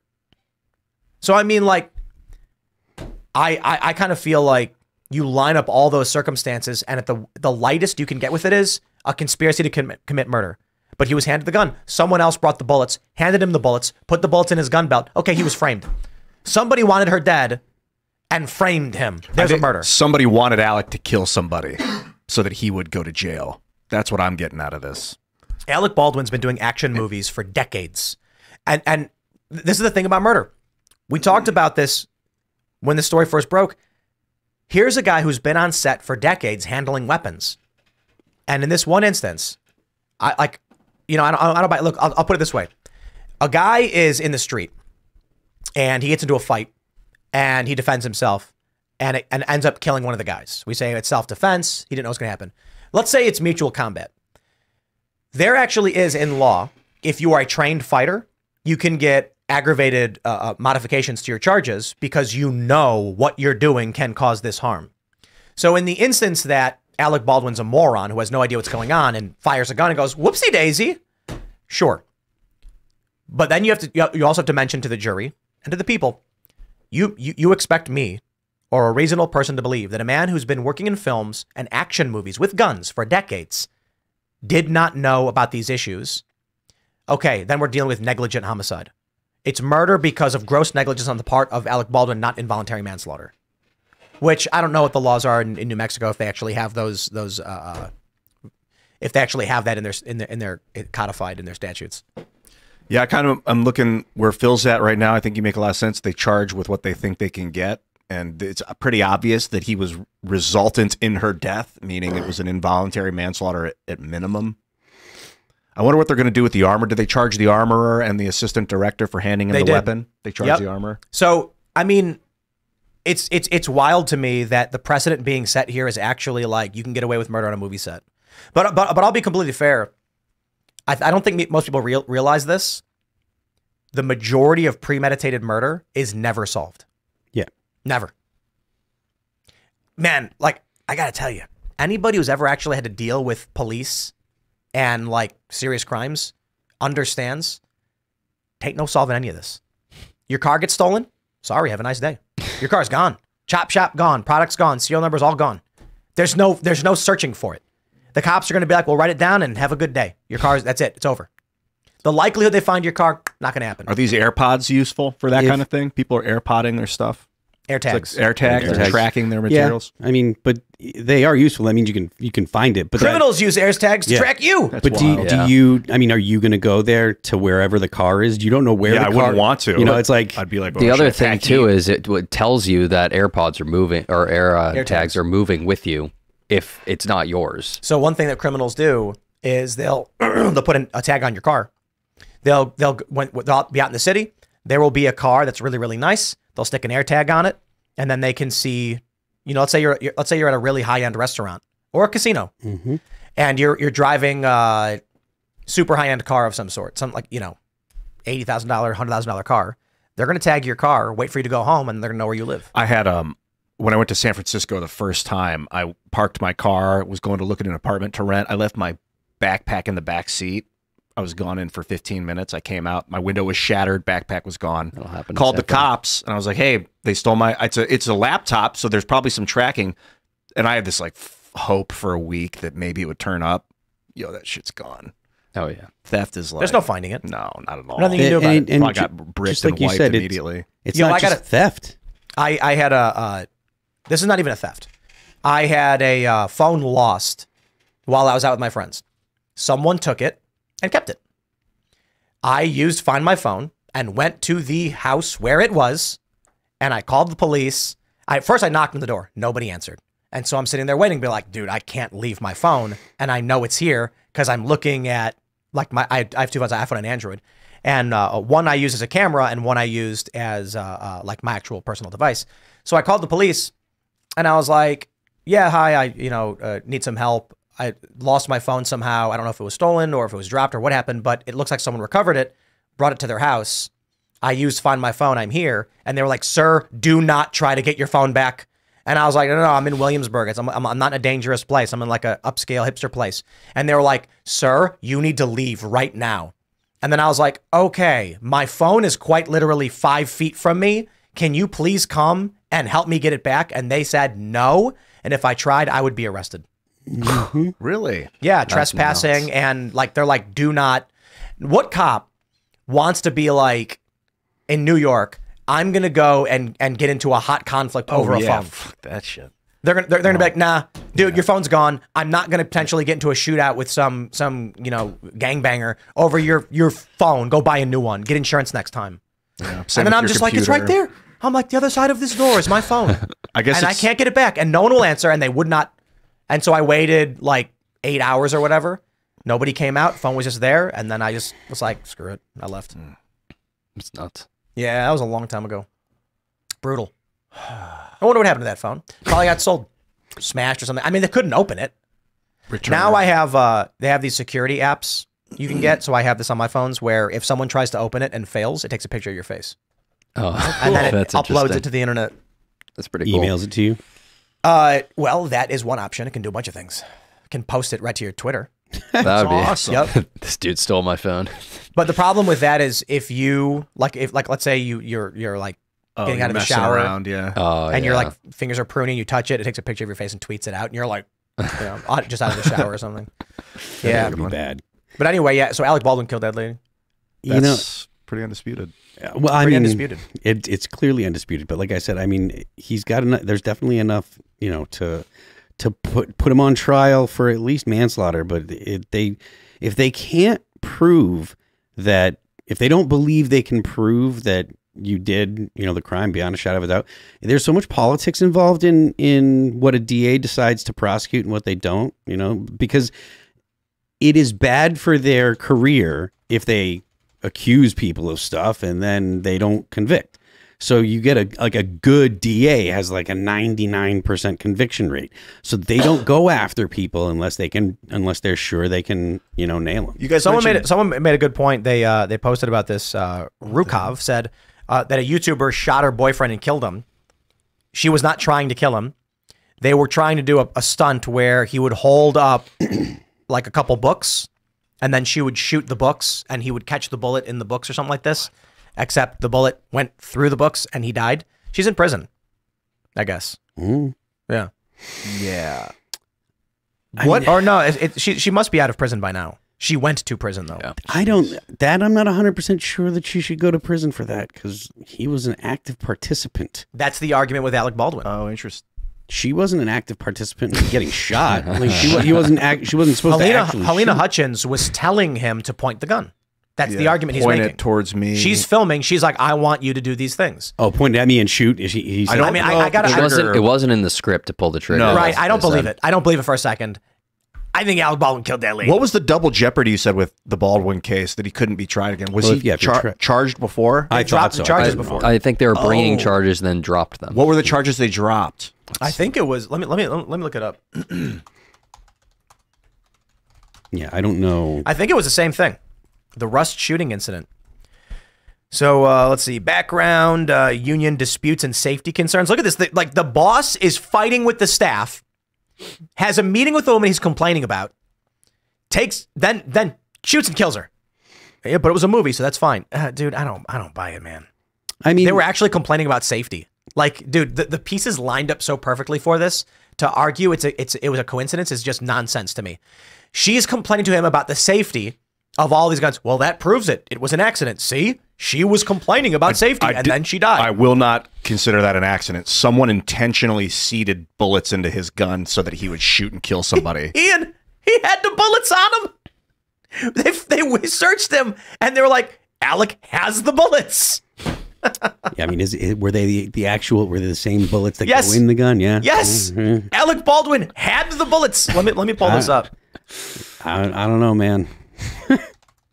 like I said, I mean, there's not really like I don't feel like there's a problem establishing motive or establishing opportunity or ability. The record, um, it was an involuntary manslaughter charge dropped in April of 2023, and then Halyna Hutchins also was charged with uh, involuntary And manslaughter. They cited reasons for uh, for dropping it was that they needed more time to investigate. yeah, so new they had new evidence. Yeah, which is an interesting reason to drop the charges. So I didn't know you could charge somebody and then drop the charges and then recharge them the same thing. Maybe it's because he wasn't found not guilty. Yeah, if you, you yeah, have to, you it wasn't actually brought be, to trial. Yeah, you have to go through trial. You have to be actually tried, not uh just Dude, I know, I feel like if they open the can of worms on this and all the cast and crew, a lot of them are going to get would get popped for like firing live rounds on set at the very least, which you're not supposed to do. A lot of people will get blacklisted from the industry and and I don't know that necessarily they were committing crimes by doing that, but they were definitely violating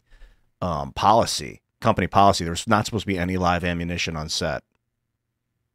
Well, eh, like with that too, I don't like. I don't think they'll go after them because there's not like you know, unless they recorded themselves doing it, like evidence of them doing it. But obviously, with the murder or you know just death of her, there's the evidence that it happened. So and then the shooting of the director who took one in the shoulder. Yeah.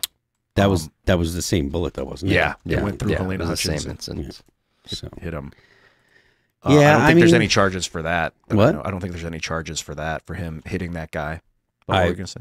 I don't know why. Why? I mean, why wouldn't they? They. Reckless endangerment, you know, or I mean, they could get him on some kind of battery charge or something like that because they actually, actually did. He did, he did injure him, and if they're going to charge him for killing the woman, why wouldn't they charge him for shooting the other guy? Makes sense. yeah. Is he? Is he? What are all? What are his? All of his charges? I don't know. It's it's hard to find this stuff though because they've rewritten so many articles about it. Yeah. It is But the big news. So what? I- What? I- What? Like five live rounds were found, and I think a handful of them were in his gun belt. So I'm trying to find that specific citation. Hmm.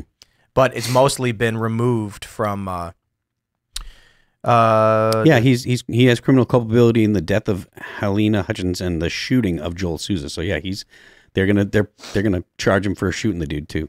Oh, okay. So This is Yeah, the gotta first I've heard the, that he uh, had the bullets on his belt. No, as we, well. we we talked about it like 15 times, bro.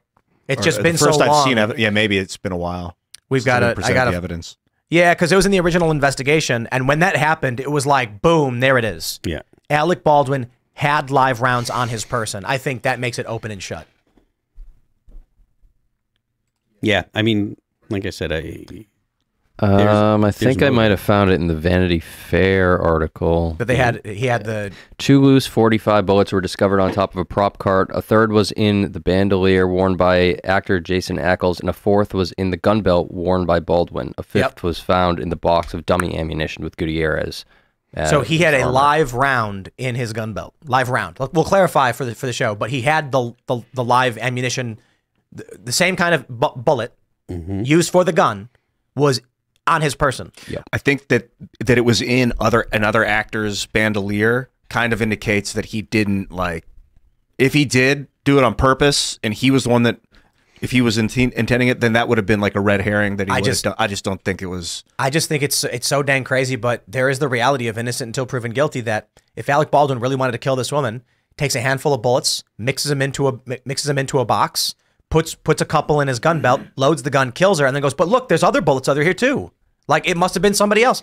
Like crazy. Alec Baldwin pointed the gun, pulled the trigger, and then lied and said he didn't pull the trigger. And investigators found he lied. The gun does not operate unless you. It's uh, what is it? A single action, meaning you have to cock the hammer and pull the trigger Yep. there's he lied about it. I think there's a strong possibility. I think it's reasonable to assume the woman he was fighting with over issues on set, he killed. He's a hothead. It's a pattern of behavior. He had the means and the motive to do it. Yeah, punched the guy over the parking spot. But think about this. Think about this. Let's imagine that Alec Baldwin really wanted to kill this lady. Yeah, punch the guy, calling his his daughter a fat pig or whatever, or little, whatever he did. He's got a temper. But imagine this. Imagine he, he he really wanted. Uh, imagine a scenario where a guy says he wants to commit a murder. So he goes onto a movie set where he knows that, or I mean, in this instance, they're on a movie set. They're having problems. Alec Baldwin decided he could get away with murder in this hypothetical situation. All he had to do was take a couple of the extra bullets and mix them into a box. And now all of a sudden everyone's like, it must have been an accident. Yo, where'd the bullets come from? Why did he pull the trigger and then lie about it? The, only thing, the only, the, this is all that matters.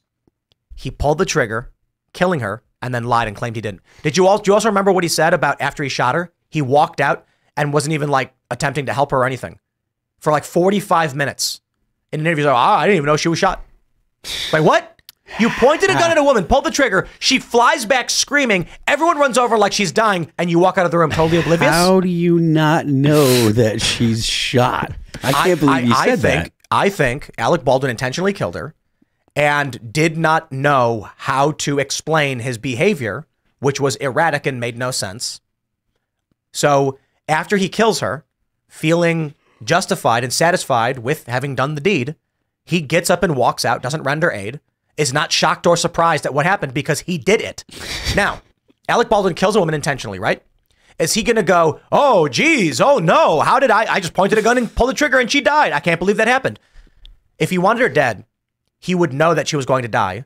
He would not react react with shock at her dying. He would get up and be like, "Yep," and he'd walk out of the room. And then he's like, oh, it was only 45 minutes later. I realized that she was actually shot. What do you mean? You pointed a gun at her and pulled the trigger. It went bang. She falls backwards. Two people got hit, and everyone's screaming. I don't buy it for a second, dude. I, I that And then he has the bullet on him. like, Yeah. I'm sorry, man. the the whole the the I, I didn't know that she was shot. Like you shot two people and you didn't know. Let's talk about That Joe, had to be Joe a lie. Biden's He son. must have known. Well, oh, I, I, dude, he, he, he's lying about everything. He, I'm sorry. Like we got half an hour talking about. It. He wanted to do it anyway. Here's another story. It's Friday. Another story. Biden to forgive another five billion dollars in student debt for 74,000 borrowers just a week after announcing separate plan. Are you effective? Oh Affected. Yo, Joe Biden is pouring gasoline on this country and lighting it on fire. I'm just gonna. He's literally. He's just trying to purchase votes. This student loan stuff drives Yeah. me nuts. I actually got my loans forgiven. I, it'd been 25 years and I hadn't missed a payment, which I think is why. So they targeted me first. But now it's just just total extraction of wealth. I don't know where that five billion is. If they told Fannie Mae or whoever these loan companies are, you're not getting your money back, that's a different story. But if they're printing five billion to hand it to these private loan corporations and they're just forcing you to pay back your loans early with uh, that's ridiculous because it's costing us all money. It's costing us all um, in in inflation. It's it's devaluing all of our currency by printing money. You know, as we watch Sports Illustrated crumble and Bud Light may be on the verge of collapse, Joe Biden is just throwing money in the air while screaming yeehaw. The Part of me thinks like we're gonna have to start rebuilding, like we're building the parallel economy. We better crank that thing up, man, because we're gonna need institutions of our own to help to, to, so that we survive. Yeah, and like for for someone like Biden too, it's like you make the argument that this isn't sustainable. You can't keep doing this. It's like, well, why does he care? He's not going to be around. And you know, to the point about like purchasing votes, like, I mean, didn't he? He already tried something like this also, and then it like got struck down or whatever. Like, these these people are going to like turn on him too because you know uh, he's going to overpromise again, and you know, I just don't think it's going to work. But even even like the this plan right there if if it does like it's it's not going to be sustainable You- but he doesn't he doesn't really We know, had care. a You, you need people that are, are willing to say, I don't want the free money. yeah I- that's I just not gonna happen yeah. because the Titanic has hit the iceberg and everybody's trying to steal as much as they can before the ship sinks. Did you hear the theory that the Titanic got hit by a U boat? Got got sunk? Okay, anyway, so uh, I, would- I want to talk about that. The the the issue that we're dealing with is that all of the people, uh, a large portion of the people in this country, are just like, let me extract from the system whatever I can as it's sinking. And Joe Biden is just making it rain. Yeah. and he's like, spend it while you can, baby. How do we instantiate honor in the in the species to be like, stop giving me this this money? I don't want it. well, I mean, you you can't do that to like kids that already are like, you know, have already got the debt. You're you're not going to get kids that have have signed on to what they assumed was the you know the, the deal. If I go to school and I study and I get a good you know get a good uh, good grades, I'll get out and I'll get a good job. There will be a job for me. That's not the way that things are are panning out. Um, and there's not a lot of great answers for those kids. Um, if they spent a lot of money on a degree that doesn't you know doesn't have a, a job to go with it or there's no you know no market for that job they're kind of effed We So- we had someone call into the members only show and said that uh, their significant other was a trooper in Texas, and that they've begun discussing fears of civil war because the Biden administration may start arresting Texas law enforcement. Uh, I don't know. I don't. I we have not confirmed any of this, and so j- just the general idea is is difficult to bring up because someone's saying it. We reached out and they're like, no, we don't want to talk about this. We're done. And, and maybe it's nothing. Maybe it's fake fake news. Maybe someone was lying to us to uh, try and sensationalize what's going on. But it but the reason why it would make sense in either direction is that Texas has begun arresting illegal immigrants, and we have what is quite literally a Fort Sumter circumstance, where the federal government is saying this is our jurisdiction, and a state has deployed armed soldiers to push them out and say no, it's not, it's ours now. So with, Fort, with Fort Sumter, you have the Union forces at Fort Sumter and the South and the South Carolina being like, "Hey, get out! It's ours now," and then Union saying no. Now you have federal uh, law enforcement on the border saying the border is our authority, and Texas National Guard deployed armed soldiers to push them out, take control of the, the area, and begin arresting uh, not illegal immigrants. Eh, Sooner or later, this reaches a head in some way. Either it's going to be the federal government just gives up, and then other states recognize the federal authority is gone and eroded, or the federal government responds with force, or something like that happens. I bring it up in this context because I'm like, everything I see Joe Biden do and the Democratic establishment, I, I don't see any any long term planning. I see them basically just setting fire to the curtains before they leave. Yeah, I don't see the long term planning. That's it. Does feel like all like just kind of let's They're- do they're- right now what's good for now. No, they're like, okay, we're getting kicked out. Light it up. I knew a guy once who got evicted from his apartment. So he took Hershey's syrup and he squ- squirted it into the cracks of every nook of the building. Yeah, bad guy. And he was like, this will teach him. And I'm like, I think you already taught him by not paying rent. but this is the idea. Like, the Democrats, they're getting evicted. So they're like, set fire to the whole thing. Well, I mean, you know, the the Thucydides trap stuff comes to mind because the United States, as a strong economic power with a strong military, you know, facing an up and coming China means you know conflict, and the idea that the United States needs to be weaker, um, you know, or a managed decline. That's not something that's that's so far fetched or something that is hasn't been discussed. Like Barack Obama essentially said this, you know, said that the United States was was going to manage being not the only not the superpower, just be another country among many, and that takes a certain amount of uh, you know of management to get to the point where the U.S. economy is not the dominant economy. And also some level of acquiescence because like half the country, and I don't know the exact numbers, is like screw that. No, we're maintaining hegemon. We are going to be America first, the greatest country on earth. Try and take it, please, because you're not going to get it. Well, I mean, yeah, there there are people, and the the thing is, yes, but a big part of the problem is this hasn't been proposed to the American people. There's no, there was no like vote about this, or or you know, or or you know, any kind of inquiry into, hey, America, do you want to start passing laws or signing on to treaties that actually kind of weaken the United States power you know over or its own sovereignty you know that that we're we're you know uh, um you know listening to foreign powers like the you know uh, and NGOs and stuff or or whatever like do do we want the United States to to sign on to those things and, and a lot of times the American people don't pay attention and so because the politicians that do sign on or that actually are the ones that are like yes we should plan this kind of stuff because they that stuff happens quietly your average person doesn't know so they get reelected and And also, like, if they had been like, yo, we're going to reduce the American hegemonic power, we want to get rid of these American military bases, and we're going to co parent the earth with the Chinese Communist Party, with the Russians, and with the corporations. I'd be open to that if you give me a plan, because I don't like American military police necessarily on its face. It's caused a lot of pa- pain and suffering, probably unnecessarily. But you better give me a way that that's going to be better than the the stability we've had over the last 70 years. They're already making the play that I predicted a couple weeks ago. Trump had received support from a mere 56,000 caucus goers, amounting to some 7% of registered Republicans in the state and just 3% of overall registered voters in Iowa. They're already pushing the narrative that Donald Trump is winning in the absolute minority, and they will use that to justify barring him from, from power. So, my prediction was they're going to remove him from the ballot in a bunch of states. If they do, Trump will win the electoral college. But the, you know, if California removes Trump, he loses 10 million Repu- Republican votes. He was never going to win the electoral votes in that state anyway. But now he's going to win the general election with 40 million to Biden 70. And they're going to say, this can't be.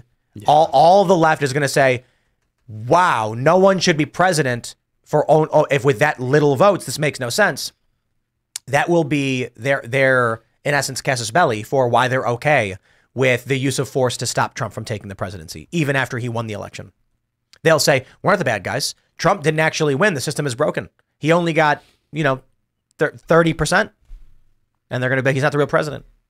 That's what they did in Egypt. They already want to abolish the electoral college, so Right, exactly. that's- And you're going to have Democrats coming out and being like, this country does not want Donald Trump. The majority of people voted against him. we should not allow him to just use a technicality to take power and turn this country into a fascist dictatorship. They are already making the argument. In Iowa, 7% of the voters voted for Trump and he won. That is not the will of the people. They're making an argument on quote unquote democracy. Is that a real uh, number? Yes. 'Cause I thought that he he polled what seventy percent of the caucus itself, but that was only seven percent. Record low voter turnout for the caucus. It was cold too. That Yep. day was Yeah. a bad vote. Yep. day. and Trump got, uh, yeah, Trump, Trump got around 7% of the registered Republicans. Wow. 7%. And so, but, but this is how elections happen. Uh, what's, what's the argument? The Democrats, who- who- the Republicans who don't show up should have a say? No, you don't show up, you didn't vote. Abstain. There you go. Your vote was abstain. Well, not showing up isn't a problem for Democrats. They mail you a ballot.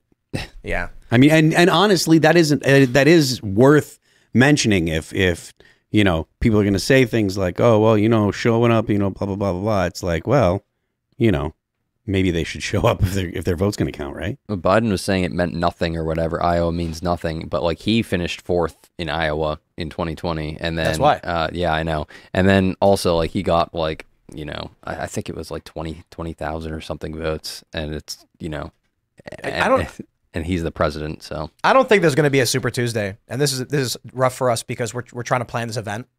We want to do a big like live show in West Virginia, but I'm just like, man, we're going to spend all this money setting up this live show and like making tickets. no and, one's gonna be left. Yeah. well, yeah, right. No, Nikki Haley and DeSantis will drop out. We thought we thought Ron was going to drop out today because he announced a press conference or something. So the, the Politico announced he was having a press conference, and he never showed up, Yeah. or he didn't show up for like a half an hour. I don't know what happened. Did he ever show up? I don't. Know. I didn't even see. I, Yeah, I, I Vermin, tried. Vermin yeah. Supreme. I tried looking for it, and, Place. and Vermin Supreme kept popping He up. sent his so- champion.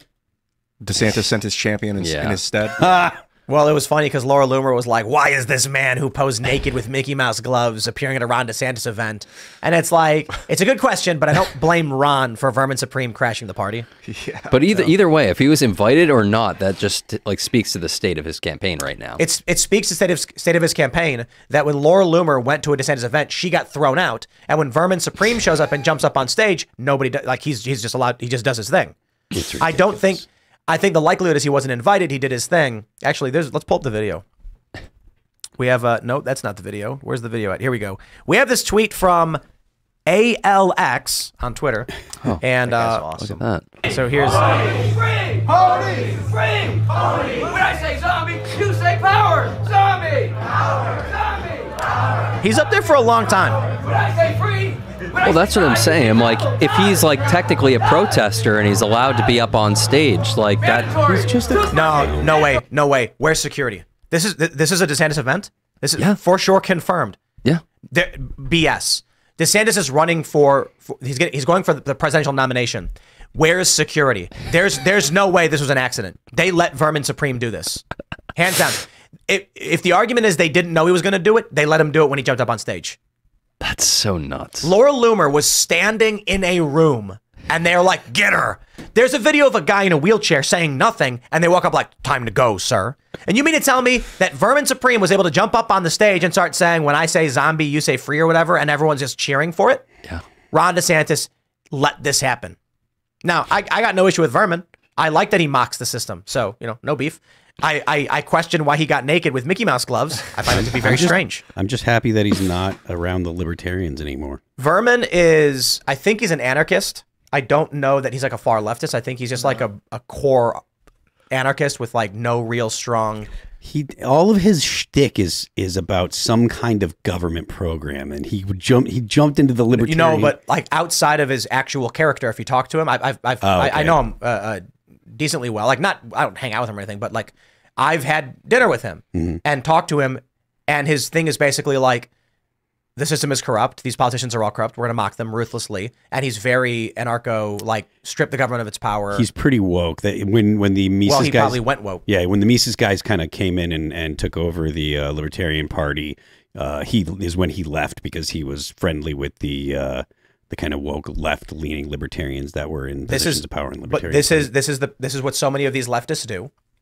They uh, or i should say liberals the moment they saw actually i'll put it this way.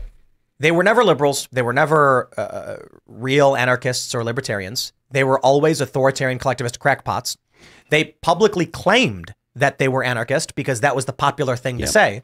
I want the government to not have power over your life And then once they started attacking people and gaining power, they were like, no, we were always for that. So he's the kind of guy who, who it, it would seem, just marches in lockstep with the with the far left. Yeah, I think I think personally, I think that that he's just like he'll go wherever he's allowed to be in the libertarian. Why was he allowed to be at a DeSantis event? I don't know. I, That's I, why. I found the answer to your question, by the way, about the press conference because I saw the original post. It says uh, Ron DeSantis is about to hold a press conference outside, and uh, he's late and le- like letting the reporters stand Right, in so the what cold. Um, he said that he'll be back in New Hampshire on Sunday. He wouldn't answer any questions about wha- uh, whether he'll be in the state on Monday or Tuesday on primary day. That's literally it. So he came to do a press conference and said, "I'll be back. See you later." And that was yeah, it. yeah. I'm I, I I need to understand how it is that Vermin was able to go up on stage without security do anything about it. Yeah, uh, it's, it's so nuts. I don't know, but I because like we've seen the videos. Uh, Matt Kim yeah, posted a video where he was like, "I was just thrown out for no reason." They wouldn't even let him go to the neighboring building to have dinner. I mean, everyone, you know that there's a lot of personal garbage that's going on with this stuff. It's it's really catty. You know, who's who's saying nice things about me or mean things about me on Twitter is is a big uh, a big thing for, especially at least you know it seemed like it was for the DeSantis campaign. If if if uh, you know you interacted with them and were not uh, favorable towards DeSantis, they were they weren't looking to convince you that you should be favorable towards DeSantis. They were looking to convince you that you were a bad person. It's real disappointing because that's like people making fun of the DeSantis campaign is like trying to light a spark underneath the campaign to give it some combustive momentum. And they're like, And they no, swat- that burns. for Stop. They keep swatting your Get hand that, away. get that spark out of here. It's too hot. I'm really happy that Ron's losing, and well, I am because it's like at a certain point when you are like, "Hey, I'm a big fan. I like this guy. Why don't you stop doing this bad thing?" And then they're like, "We're gonna keep doing bad thing," and I'm like, Yeah. "Okay." And they respond with, "And you know what? Fuck you." I'm like, Yeah, no, that's exactly it. That's all right, exactly I'm it. out. See you later, guy." I had somebody like complaining that I didn't cover uh, Kim Reynolds' endorsement like months ago. I'm like, okay, it wasn't like really surprising. And then also on the other hand, like you know, it was a bigger deal the that that week that you know Rick Scott endorsed Trump over DeSantis, the sitting you know senator of a state and former governor, and like they didn't make a huge deal about that. And then you know, Ne- Kim, the, Kim the, Reynolds, the the the uh, personality traits of the woke are the same as the never Trumpers. yeah, They're it's the same. Irrational, anger, emotional, I should win, I should get what I want, principles be damned. And so a lot of these never Trumpers latched onto Ron DeSantis and they dragged him down to the depths of destruction and oblivion. And he's gone. And that's it. He is a, a sad laughing stock. I'm just I'm, I'm, I'm imagining someone being like, Ron, I'm telling you, high heels. You're Oh gonna win. It's gonna pull really well. Ugh. I mean, it uh, it sucks that his his um, you know the the people that were speaking for his campaign weren't uh, weren't a little more proactive in trying to convince people and be a little more friendly. But at the same time, like Ron was, you know, it's like talking to a two by four. You know, listening to two Yeah. by four talk. You know, Yeah, those those videos with like the painful smiles and like the robotic Yeah. movements are just like ugh, they're too they're too much. Because know, and he's, he's an athlete. We needed more of him in action, like physical action. you need a leader and leaders have to be good at a lot of things so uh, when we're looking at fighting you know sean strickland is a leader we're big fans he's saying some great stuff he's defending the little guy and we really respect it he's a good dude uh, he's a wild guy and he's good at what he does should he be president no because while he be- may be the champ when it comes to his, his weight division and his fighting when you're a leader you need a bunch of different characteristics so Ron DeSantis, let's say there's 10 categories that make you a good would make you a good president. Ron maybe has two of them very high marks and the rest are all in the gutter. So he was not the right choice for this. Mm-hmm. But I am glad he ran because it would be a disaster for all of us if he didn't. He endorsed Donald Trump. Trump said we're going to bring him into the fold. We're big everyone loves Ron. And then come 2027, yeah. Ron's running, and we're like, what have we done? Yeah, mm. Our backbench is garbage. We're in trouble. We got nobody. That's true. People do credit the Florida legislature with a lot of what happened in Florida during the Right. COVID lock shutdowns is is keeping that state open was in part the legislature. Not and Ron took a lot of the credit for it, but I don't know who, who's going to be the VP, man. it's got to be Vivek. Yeah, but even Vivek it is does not not have to be. VP. Like, I mean, I think for success, it's got to be Vivek because No. he's grooming the next president. They have whoever like he the picks. most, you know, the most chemistry that we've that we've seen on stage. I mean, there hasn't been a whole lot of you know Trump on stage with a lot of people, and especially former candidates. Uh, other than- Gabbard, maybe. I, Yeah. I get that. Tulsi you- Gabbard maybe makes sense. That's that's what I. Yeah, I am not. I am not She would be talking. The the idea that Vivek has to be VP because he's grooming the next president. No, no, no, no. That's not what matters. What matters is does the VP help get a new state? Am I going to win a state with this person? Am I going to win a demographic with this person? And are they the kind of person that could fit in a role that is subsidiary and not very much in the limelight? Mm-hmm. Vivek is is is is is a hot potato man. He's not going to fit in that role. Chief of staff, perhaps something like that. I don't even know if that's the right one. He may not want to work in administration like that. I look, I you know would would have preferred Vivek be the guy to Trump, but like I think the re like he was at you know eight percent or whatever in Iowa, he's like five percent or something like that nationwide or lower. Like I don't see how he be- how Trump benefits at all by picking Vivek. It- he doesn't. The country does. It's like kind of like Aaron Rodgers, like Favre. They the Green Bay Packers drafted Aaron Rodgers. He sat the bench for the first year. He was a nobody, but they knew he was great and that he would be great. So he Brett Favre, you know, just just took it. all- They all took it for the team. It was about the team and making the team the best it could the be. The thing about him like being at like eight percent uh, is I think because he's aligned so much with Trump that like you know in the absence of Trump I think that number would be a lot higher. Whereas the other candidates that like their their support is seen as you know opposing Trump. So it would actually kind of be confusing to me to like have him at a higher number because so, since he's so aligned with Trump, I feel on a lot of things. That's you know that's where that's coming from, and he's like actually, I, think he has some good like suggestions on you know like banning the you know cryptocurrency whatever that was and then also um, you know with the pardoning of Assange that's another suggestion uh, that like he has told Trump I guess so you're banning the CBDC. yeah, yeah, CBDC. That's what it was. Um, and you know, the day before he like talked to him about that, he announced that on the stage and made that part of his policy. So I, I feel like someone like who could give him some more, you know, advice on things like that that you know Trump might not know, and help craft policy on that type of stuff um, would be more beneficial. And uh, Don Jr. just had Vivek on his show, Triggered, on Rumble two days ago. I think it was two days ago. Might have been yesterday. Yep. It was pretty cool. It was great to see them together, but it was remote and they were talking over each other just because of the yeah. digital delay, which was, you know, being in person. I think, especially for Don Jr. and Vivek, who are like high powered speakers, having them try and Yeah. get through it was uh there were some rough moments but all in all it looks like they're deep in communication with the guy i don't know if Yeah. you need him to be vp to make him the next president Yeah. because he could just be a loud, like Tim, you were saying, he's a loudmouth in a good way. He likes to speak and speak a lot. People he's are an also- order. People are also chatting about. There's like a lot of videos of Ron eating. Oh like, yeah. like a duck. yeah. You know, it's like The Simpsons where Frank Grimes is like he eats like a pig. It's like eh, I'd say it's more like a duck. Pigs tend to chew, and then it shows Homer like putting the donut in his mouth and he's like just hard, like sucking it down. It's painful. But it's there's like, like- Kasich. People are posting a bunch of videos where Ron like will take a sandwich and just shove half the thing in his mouth. But no, I, I don't- say what the. I'm like the dude's on the run. Yeah. Like he's he's, he's got he's got to go, man. I totally get it. You hand me a cheeseburger, I'm gonna be like, I'm taking that thing down in two bites. They do that Granted- stuff Granted, all the I'm not running for office. They do this stuff all the time. It's like when whenever like every you know cycle or whatever, whoever's running, like they get get bad pictures of them eating Oh, or the whatever. corn dogs, You know, where they're like sticking the one down the Yeah. throat. Yeah, I you would know? lean That's the Iowa all State. Fair trap. Ugh, Yeah. Oh my gosh. you Yeah. know? You got to chew your food. Like Chew the it into only a the only paste. the only reason I would ever really want to run for president is so that I could just go nuts It's- on the whole system. if you have, I would never to. actually want to run. I don't want office. it all to be in politics, but if I feel like the country needs me or the world needs me, like I feel like it's our duty as businessmen to go to that level next. If there was ever a point where I could actually get on the debate stage and have like a double digit polling but not win, I'd go for it, and then it would just be the funniest thing ever. I would like I would show up to like the Iowa State Fair and I'd buy like five corn dogs and just eat them all at one once. I would take five of them and just be like, "All right, everybody, get the photo." I just jam it into my face and be like, "I take so little of this seriously. Like, have at it." But the thing is too, like, it might actually backfire and end up working because it generates so much press attention, like Yeah. Trump's first term. Yeah. How he was just saying all this crazy stuff, and then they were just like, "Run it!" There is and then he ended up winning, getting five billion dollars worth of free marketing.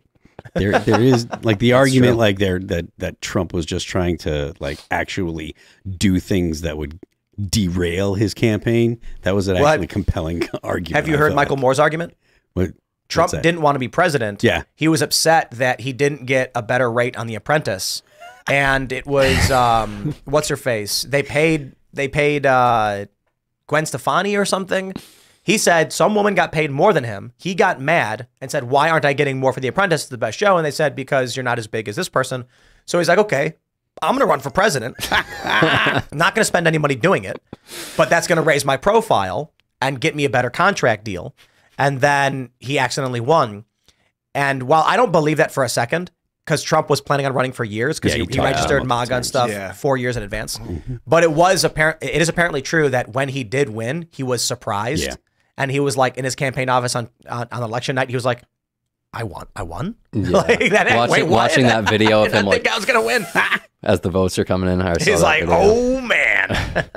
well, I mean, it's probably the reality there is that everyone said Hillary was going to win. She had everything. It was, Trump was probably like, all right, well, you know, we, we shot our shot, right? Mhm. And then he won. Yeah. Oh man, talk about good days, good days. Can you believe that was almost ten years ago? It was eight Yeah, years ago. That is actually nuts. Eight years I, ago. I remember that night. That was nuts. Oh, Yeah, it was so much fun. I'll never forget it. You know, like uh, uh, like 9/11. I will always remember exactly where I was and how it went down when Donald Trump won the presidency because Me it was too. it was one of the greatest nights of my life. Where were you? What were you doing? I was hanging out with Cassandra uh, McDonald at the Sputnik office where she had worked, and uh, I I was we were we were hanging out in D.C.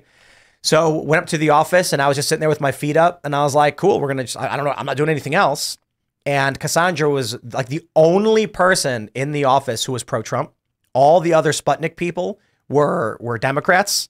And it was funny how snooty they were being and like smug. Mm. And there was like an early report that the Trump campaign was planning to file, like launching a lawsuit against one of the states as the results were coming in.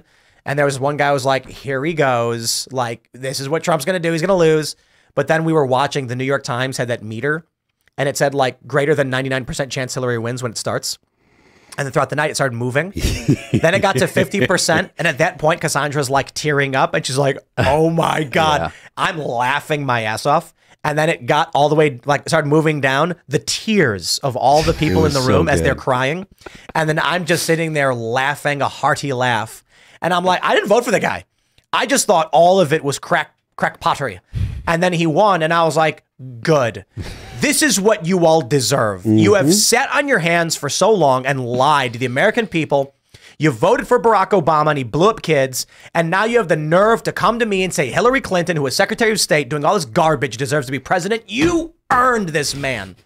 And I was just, I was loving it. What a good day. Yeah. I was very much into Bernie, and it was devastating what the DNC did to that guy's Me campaign. too. Me too. I was a, I was a big Bernie fan, and uh, and they did. And so when it all came crashing down, I was another reason I was laughing is I'm like, y'all, y'all, deserve it. y'all deserve it. Yeah, The that's what I DNC. Listen, man, people wanted Bernie. He had a lot of grassroots support. He should have won. And when they ripped him off, people just got in line behind Hillary Clinton. And the fact that it failed and blew up in their faces was so funny to me. You Yeah. deserve every moment of every, every ounce of pain, every smile Trump makes, every laugh he laughs. You deserve every moment. it was funny. It was like a gut shot. I don't know if you guys do you remember the moment you found out when Trump won that election? What were you doing? Yeah. I was I, I was watching it live, just like with my family. Well, well, I kind of knew once I saw Florida, like that. That was it. Oh, yeah. You know. Yeah. That, that Yep. was it. That that was the that was the moment that night where everyone went, wait a minute. Yeah. This went Trump. He's gonna win. Yeah. I, I just remember that moment when the New York Times needle went to the middle and said fifty percent. Yeah. And then I was like, he's gonna win, isn't he? Yeah. Yeah. Where were you doing, Phil? I was just at my my place in New Hampshire. I Was it like remember- three in the morning or something when the results came in? When they actually called it, called it, or well, when he gave his victory speech. But I think I think it was probably around midnight or something when when it was like mathematically called on most networks. What a shock! yeah. You could actually pinpoint the moment at, at which Hillary Clinton's heart was ripped out. No, I'm kidding. That's a Simpsons joke. But she didn't. She didn't give a speech, right? She just disappeared. I think. No, she didn't Yeah, give she a did not speech. give She, a Well, that's the thing. So she didn't have a concession speech Right. written. Yep. Is why she didn't give a speech. She was probably she, she was probably hitting people, screaming like, "How did this happen?" I've heard she was drunk. Oh, she was hammered. I heard that she she had she had had a couple drinks before, and then once it started to go really bad, she the never drinking showed up to started the to venue go, at and then all. She never she didn't show up to her venue. She didn't do a concession speech that night. I heard it was because she got drunk and was yelling at people. So Putin doesn't drink. I don't know if that matters. World mean- leaders getting trashed makes me nervous. We're going to go to Super Chat. So if you haven't already, would you kindly smash that like button, subscribe to the channel, share the show with your friends, head over to timcast.com, click join us, become a member to support the work we do, and go to castbrew.com, pick up Appalachian Nights. It's the best coffee you will ever have. You can buy it as a gift. And also, if you got friends who are big Trump supporters or just don't like Joe Biden, you can buy Sleepy Joe. That's our decaf. Uh, really, really good name. Shout out to the Timcast members who uh, helped come up with it. And uh, Sleepy Joe. There's also Unwoke, but I think Sleepy Joe is way better. Yeah, yeah, you can drink it before bed. All right, let's grab some super chats. And uh, YouTube's giving me the business for some reason, but I'll do my best. jerks. Let's see. Joshua Beam says fourth. In fact, sir, you were you were first. But because you called it wrong, we're not going to count it. We're going to give the first position to barely a millennial. No, I'm just kidding. You're first. barely a millennial says we had to put our American Eskimo dog Nina down today. The best part of being a kid is not having to do the hard things. that sucks. Sorry to hear. You're here. Rest in peace. All right. Kane Abel says, Hey, Tim, did you ever find out about that Texas Ranger versus Fed thing or have any updates on that? I wonder if that would be the new start of the next Civil War. History often rhymes. The reason why I did bring it up, I didn't want. I I haven't tweeted about it or anything. Is because if we can't verify who the person is and and and, and if the husband's in law enforcement, can't get a statement on the record. We don't want to. That being said, an individual called into a public show to thousands of people and said, "This is a thing that is happening." That much I think we will repeat, and then I will clarify we do not have any confirmation outside of this. Uh, however, there are other individuals who are retired Texas troopers that probably have connections, and it sounds rather reasonable that this is happening. If you are working in law enforcement in Texas and you're being ordered to defy the federal government to their faces with guns, you may be concerned sooner or later a Fed's going to try to stop you. We'll see. All right. Manipple says, second of all, wait, was there, second of all, where will the new North Poles be? Guys, go to Tenet Media on YouTube, subscribe, watch the Culture War podcast. It is Fridays at 10 a.m. live. We put up clips on youtube.com slash timcast, but we all redirect you over to our friends at Tenet Media. It's a great little super group we got going on. And the show this morning was about a, a pole shift, which may be occurring. I don't know. I'm not a scientist, but uh, the argument is that periodically throughout it's every 12,000 years or whatever, the poles shift. This is a fact. Here's, a, here's a really interesting fact from the show. Runways are being renamed because of the, the, the pole shift. We name runways based off their position on, on the with the compass or whatever Yep. in, on the earth. But now that the poles are shifting, it's changing the names of these runways because if you're flying, you're using your instruments to find runway with this name. If the name stayed the same, the the, the compass would point in the wrong direction, and so it's like but uh, that's actually happening. That's a fact. You can find that on like the U.S. government website where they're like, "Hey, we have to." The, the pole shift is happening rather rapidly, and so the idea is that the Earth will tilt, and as it does, it wobbles, moves down, and then starts correcting. The spin will stay the same, but the axis rotation. And I guess the argument is the poles are heavy right now, and so that'll cause it to wobble and then spin, but then correct itself and start spinning again. And I guess that would put uh, Antarctica at the equator. So it'll be the east and west pole. No, the poles will be north and south. Oh, okay. Right. But Antarctica will be on the on the equator, and that would put uh, Florida on the South Pole. Hmm. I guess is the argument. Yeah, I mean, it makes sense that that would happen.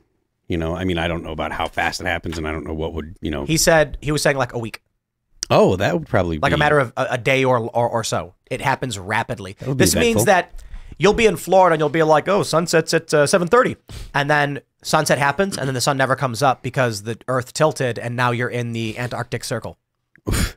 yeah. awful. You're like, I'm cold now. What's happening? So one of the things he, he pointed out is that we found woolly mammoths frozen Yeah. with food still in their bellies, meaning they were flash frozen. They were frozen nearly instantly. Hmm. And so he's he, he was pointing out like, or he was asking, what could cause a woolly mammoth to freeze so quickly that its food would be intact in its belly? More to the point, where did the food come from? if the woolly mammoths were in this Arctic region or whatever, or, or, or you know, minus 15, how were there vegetables around for it to eat? What was it eating if its stomach is full of vegetation? Yeah, the hypothesis is that it was in the equatorial area and it, there was plenty of vegetation, and then that whole area flipped up north, and then And it- that's where they were found. Right. And so, well, th- this is what he's arguing. I'm not a scientist. I don't know, but he's arguing that they're basically at the equator eating veggies. Within a day, the Earth flips, and all of a sudden they're in the Arctic Circle. All the plant life is dead, and it's minus 15 instantly, and they just freeze. They freeze to death almost instantly. Nowhere to go, nowhere to stay warm, and there's no food, and they're just frozen. And that could happen now. That's what he's arguing. Watch the show. It was such a good show. Yeah, watch the show.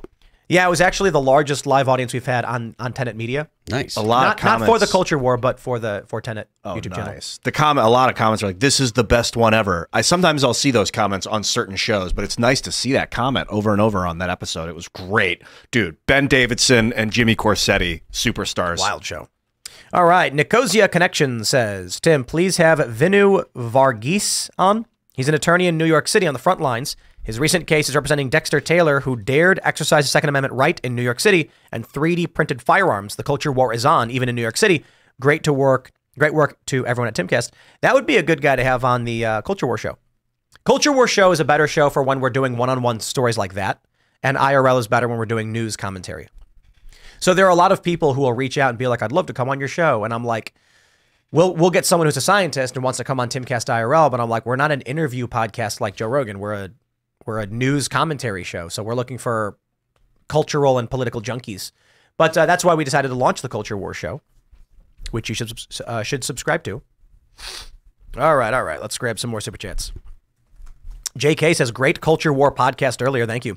Been watching both those guys as long as you. You need to let all that expand. Yeah, uh, the fascinating thing about uh, Ben, he's not like, it, it, it. He's not coming out and saying aliens and other crazy nonsense. He was saying things like, well, one of the, I I asked him if the poles shifted and Antarctica is at the equator, will it melt? And he says, not necessarily, because we have tropical glaciers right now that haven't melted. They've been there for thousands of years. And I went, wait a minute, what? I didn't know that. Yes. Hot, tropical glaciers in like Indonesia, for instance, that are high altitude, they don't mm. melt. Yeah. Exactly. So they've been there for a very long time. And I'm like, interesting. So Antarctica could move to the equator. There would be coastal melting, but lar- the large ice Yeah. formations may remain. How high is the highest mountain in Antarctica? You know, or highest peak? I don't know. You I can Google know. it probably. I was gonna say there'd be like a huge land grab for if it, if it suddenly just became that way. I mean, a lot would change, but all of Antarctica would be would be like land. No, it, I, I, you know, part of me thinks it would be the coolest thing ever if Antarctica was at the equator and just started melting, and there's a new frontier. yeah, exactly. But only if after the ice melted, there was like an abandoned city, oh wow, and we were like, when all this ice melted, we found Atlantis. I was gonna say Atlantis. yeah. The highest point of It was in Antarctica, is Antarctica Not time. that it's much. called Mount Vinson. It's sixteen thousand feet high. Yeah. above Oh, sea that's not much. That's not super high. uh, that's like Utah. Road Less Traveled says if you're planning on going to the Republican National Convention in Milwaukee or just a fan of history, look up Road Less Traveled Wisconsin for information about the Little White Schoolhouse in Ripon, Wisconsin, the birthplace of the Republican Party. Ah, very interesting. Yeah, we are planning to be there for the RNC. We've got uh, we got some good plans coming. Some good plans for the RNC. All right, Greg Cutler says, Ian, I threw down $100 last year to just to shout out Ben Davidson and the suspicious observers. Glad to hear you got together. I'll definitely watch it. Dude, people keep telling me you gotta get in touch with Ben with Ben Davidson. You gotta get in touch with Ben Davidson because I've been talking a lot about the Electric Universe theory. Dude, we were talking about that during these pole shifts and these geomagnetic phases that the moon can get pulled towards the Earth really fast and then pushed away, and the amount of like.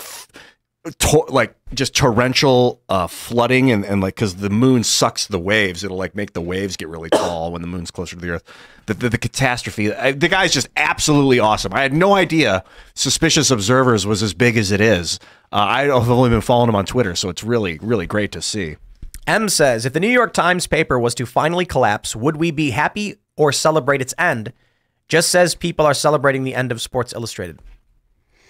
I'm torn. Right. But it's like, because it's been taken over by communists, we want it to be destroyed. That's kind of a scary thought. What if we took it over and made it run by like capitalists and pro America people.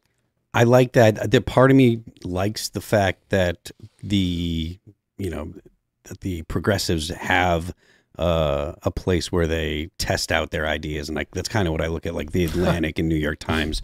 Like they the, The go to the op eds, yeah, go to the op eds, and you can you- all the terrible ideas the left has. They're they're Yeah, they're you can see telegraphing all of them. What if- what- these, go ahead. No, no, finish. Well, these these ideas that they that they test in the opinion pages, these are what will eventually turn into policy. You know, What that's if- where the ideas come from. What if tomorrow the front page of the New York Times was all American flag backdrop and the articles were all about the history of communism and why communism is bad? I would subscribe.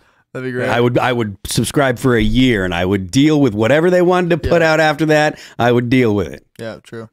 They Hear should do that, it. New York Times. That's Yeah, yeah. They'll never do it. They were they were white. They were red washing the Soviet Union while Stalin was killing people. yeah, true. like they're yeah they they were they're sim- the- they're sympathetic. yeah the whole like the whole progressive project the whole first half of the last century people were lying for the Soviet Union because all the all the intelligentsia all the academics thought that socialism was the future they thought it was a great idea and they all wanted the Soviet Union to actually work out and so they're all just lying for them the New York Times should, they had horrible people that were just covering for Stalin it's awful J.W. Dickinson says, I hope this is seen. You need to make a K cup coffee pod sampler so people don't have to buy a full pack to find out if they like or mm. hate it. Good point. That's a great idea. Here's a funny one. The real Hydro PX says, You said this yesterday. Are you an NPC? Tim, do you just say things to look cool and be right or your insecurity? Hydro, what you need to understand is, as one of our biggest fans who watches every single episode, Yeah, literally. we know that the average person watches three episodes per month. That's the average person. And so that means somewhere around 60% of the individuals who watch Timcast IRL don't hear and don't watch consecutive episodes. So if I'm going to be talking about a subject and I ignore the core point of the subject, assuming someone's heard it, the chat will be flooded with, What are you talking about? So we have to operate on a light assumption that the average person at any given moment on a show has not watched the show the previous day. Yeah, it's similar to if you're talking about someone we all know and we're using first name basis. We got to use their last name when we're on TV. It's just a, something you got to be a little different when you have the cameras on and you're This broadcasting. I'll give I'll, I'll give you one example of how it's difficult to navigate esoteric subjects. The what we say on this show on a daily basis is an esoteric subject. You don't know the subject of what we talked about unless you watch every episode. When we had Vivek Ramaswamy on and we asked him about central bank digital currency, he did what many people do when discussing this. The subject is so complicated that instead of saying, here's what blockchain is, here's what Bitcoin is, here's what cryptocurrencies are. Central bank, instead of that, he goes, the problem with CBDC right away is that you've got a government. And I'm like, wait, wait, stop. What is CBDC? Oh, oh, central bank digital currencies. Anyway, the point is, no, no, no, stop. What does that mean? And so he, he says, I'm going to get to that. And then he starts talking about blockchain. And I'm like, listen, people don't know what blockchain is. I've, I deal with this all the time. It's not but what happens is someone who knows and pays attention to every show knows that C- what CBDC is. So someone will come on this show as a guest and they'll say, "Well, I- I'm hoping Donald Trump calls out CBDC because we had a big problem." And then 80% of viewers go, Whoosh, "I have no idea what he's talking about." I've noticed that on shows, sometimes there's the experts, two experts talking at each other, and I just want to listen to them experts speak. Even if I don't understand the words, I'm like, I'll figure it out later. Go full expert nerd. Don't assume, don't don't dumb it down. Just go full expert. But then other times, I'm like, I want to watch more of a show which explains to the general audience like labels, what they mean, and I just I kind of go back and forth. There's different uh, types of shows in that sense. So you need to say something like blockchain is a digital ledger, a book containing a list of transactions made by people who are exchanging something of value. The digital currencies are essentially things you can have on the internet that represent value. Really simple. The government wants to create their own version that they would control. That would be a bad thing because it gives them technological access to all currencies. They can spy on you much more easily. They can control what you buy much more easily. They can ban you from stores or even from regions. Right now, they can do these things through difficult me- uh, measures with the federal government, court systems, freezing your bank accounts. But with central bank digital currency, one day you could get a notification that you are not allowed to buy things within 50 miles of Austin, Texas. And they can easily control that if, with a CBDC. Less, it's less easy with uh, the current financial system. But social credit scores, all that stuff, op- it opens the door if they make that move. So uh, we say no. All right. Scrody Johnson says, funny thing is Porsche is owned by VW, but VW's holding company is Porsche. Literally a loop. Hmm. Yep. That's so crazy. Very weird. Limited liability schemes. Yeah, All right. like that's like corruption staring us in the face kind of behavior. Tesla Hack says on the topic of the casino and no one in charge, this uh, Ian isn't correct. Decentralization also decentralizes responsibility. A web of interconnected systems is hard to hold accountable, unlike a singular leader. That's a great point. And that is the point I was dealing with. If you're so if you're having a problem in one of these big casinos and there's no general manager, that's it. Have a nice day. Like there's nothing you can do. So when I had an issue where I a guy threatened to to so what happened was I was in the poker room at Hollywood Charlestown and they apologized to me re- relentlessly over this, but uh, I will use the poker terminology for everybody and if you don't understand, too bad. I did what's called an ace high hero call all uh, all uh, on an on an all in. Basically, we're playing poker. I'll simplify it. The guy is making big bets. I don't believe he's I don't believe he's actually got a hand. I, I think he's got garbage. So I call his bets. In the end, he pushes all of his money into the middle, basically saying, My hand is so good, I'm putting up $300. You have to have $300 to call me out. And I said, I call, I throw the money in, and then I flip over ace king offsuit. Not the best hand, but a pretty good hand. And he Is is this all pre-flop? no. This is the this is the river. This is the end. He bluffed all the way down. He looks at what I have and he just has this look of shock and then he throws his cards into the muck, meaning he just gets rid of them. And then they shove all the money to me, meaning I called him out. He was surprised I called him out. He got really angry, came back half an hour later and started threatening to hit me and beat me up and smack me and insulting me. And that's that's a that's a no-go at any casino in any poker room. Instant permaban. You go to any major casino. And so I was like, can I get the floor over here? Like, holy crap. They didn't. I asked for the floor several times. Finally, I got up and I'm like, yo, what the went to the went to the guy who runs it and I said, This guy's threatening to attack me. Can I get security? Or like, what's going on here, man? He's he basically came over and said, chill out, shut up, and play the game. So I said, okay, I want to speak to who's in charge. There was no one in charge. No one runs the show. No one's in charge of security issues. Security guards came over and said, I don't know what happened. And I'm like, can you guys like watch the cameras and see him threatening to hit me and all stuff? And they're like, I don't know. And I was like, is there a boss or a manager of the casinos in charge? No. Each individual space has their own authority and jurisdiction. So if the guy who runs the poker room says, don't know, don't care, didn't see it, the security guy says, I'm, I don't work for him, he doesn't work for me. There's no other general managers. It only got resolved like seven months later when a guy who watches the show and worked in the food department as a manager asked me, like, uh, so they they had an uh, there was a Republican event using the casino conference space, and he was there, and he was like, "Yeah, I hear you're a big fan. You play poker." And I was like, "Not here anymore. Not since that guy threatened to attack me, and you guys did nothing." And he went, "What?" I get a phone call right away from the casino host apologizing, saying they'll they'll they'll fix it. And I said, "Fine, fine." Uh, I am once again boycotting them, however, because they stole forty dollars from me. Wait, the, so the casino host is like the top dog over there? He's a customer relations guy who wants to convince people to play the game. So there's no boss. That's got to not be true. I feel like they just lied to you. Yeah, that's bizarre. Yeah, I, I there's there's no boss.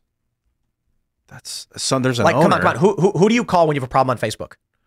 Who's the manager you speak to at Facebook when you get banned? There's nobody. Yeah, there's none. So the whole system is decentralized. There, of course, is someone who's in charge of the casino at perhaps like a regional level, but they're not in the building and they're not there and there's no fun. You can't talk to them.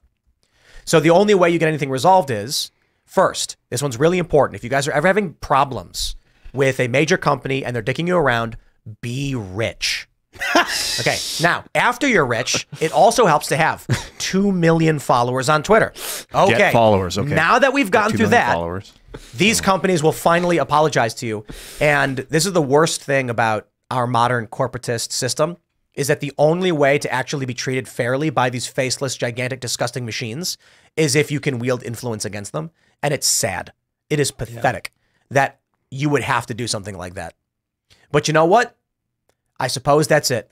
Let them feel all the pain of treating their customized like garbage because sooner or later they treat the wrong person like garbage and and then they have to deal with it. That's that. why I'm drawn to mob rule because like I noticed that in 2006 with internet video, like the amount of people I could amass to make a phone call to one person at a, at a certain time, I was like, yo, I can command the masses with this technology real easy. And I wanted to, but I, I, I also realized how dangerous that could be and that I'm corruptible. And I was like, I, I got to just build systems that let people organize. I can't I can't try and be some cult leader pushing. I mean, but then the argument is like if you're up against corporations that are screwing the little guy, maybe you do need a cult leader to step up and command the forces, the people to go make calls and to show up here and I'm gonna say this and all that. I'm gonna take this Friday opportunity to uh, whinge a little bit, and on this point. so I was at uh, Maryland Live, which is at uh, Arundel Hills, uh, Arundel Mills, big mall, shopping mall, and they have a casino. And this place knows customer service. So we there was a there was a, dis- a dispute we had over a bet on a table. The per the the the supervisor on the floor was arguing with us. I was getting I was getting perturbed, like not angry, but I was like, "Look, we're trying to do this. This is what we did. You can't push our bet back." Blah blah. blah. And then finally, I went, "Okay, don't worry about it. Make the bet. No point in arguing. Thank you for your for your patronage." And I was like, "Oh, that was very nice of them." At the same at the same place, I was playing Sic Bo, which is uh, three die roll. You make a bet on what the dice is going to be. Very simple game. And I accidentally put more than the max down, and I lost. And they went, "Sir, you bet too much," and they gave me half my bet back. Hollywood Casino, Penn Entertainment, it's like the gutter of casinos. We were putting down, so this is why we're currently boycotting them, and this is this might be the final straw. We were putting money down on craps. It was Allison's turn to roll the die. There were only three people at the table. As she's putting the money down, they hand the die to the wrong guy, and he throws them, and the die hit the wall. And we're like, whoa, whoa, whoa, no roll, no roll. Like we're still betting, and like what, they're like, nope, your money's ours, and they pull our money. And I was like, whoa, dude, stop. You're out of turn. The wrong person threw. No dead roll. They said, no. If you don't like it, you can leave. And then I said, if my forty dollars is worth that much to you, I'll never come back to this casino. And they said, it absolutely is your right to say that. And I was like, okay. Have so fun. don't go to that place. Don't go to Hollywood. Penn Entertainment Yeah. runs these things. Uh, and and I'll also say this too. Look at look at what happened with Portnoy. They booted Barstool Sports. Penn bought Barstool, sold it back to Portnoy for a dollar. he made like half a billion dollars on that deal. Best deal in like the of the 21st century so No, for real. Yeah. So Portnoy sells Barstool Sports to Penn Entertainment for half a billion. I think it was half a billion. And then not even a year later or whatever, they're like, we're going to give you the whole thing back for a dollar. Why? Because because it is the like, dude. But also, isn't that like fraud? For that's just No, like mean? Portnoy getting free money. Yes. But that's got to be like fraud. They they so apparently what was happening was David Portnoy has no problem calling people out he disagrees with. There was an issue where Mincy, cool dude by the way, was rapping on a show and said the N-word in a rap. They fired him. Portnoy was like, that's BS. I was pissed. I'm like, come on, dude. Mincy's a good guy. He was just rapping a song. They mm-hmm. fired him. Dave is a good dude. Gave Mincy a job at his watch company. He had his back. I tremendously respect that. Barstool was freaking out because they were like, we are going to get denied gaming licenses in states because of hate speech and things like that. So Barstool was too edgy.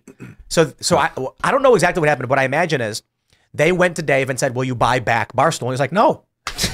and they were like, "We are losing gaming licenses over this. We have to, we can't have the brand attached to us anymore." And he was like, "Too bad you bought it." And they were like, "Will you buy it back for this rate?" No. "Will you buy it back for this?" No. "Can we give it to you?"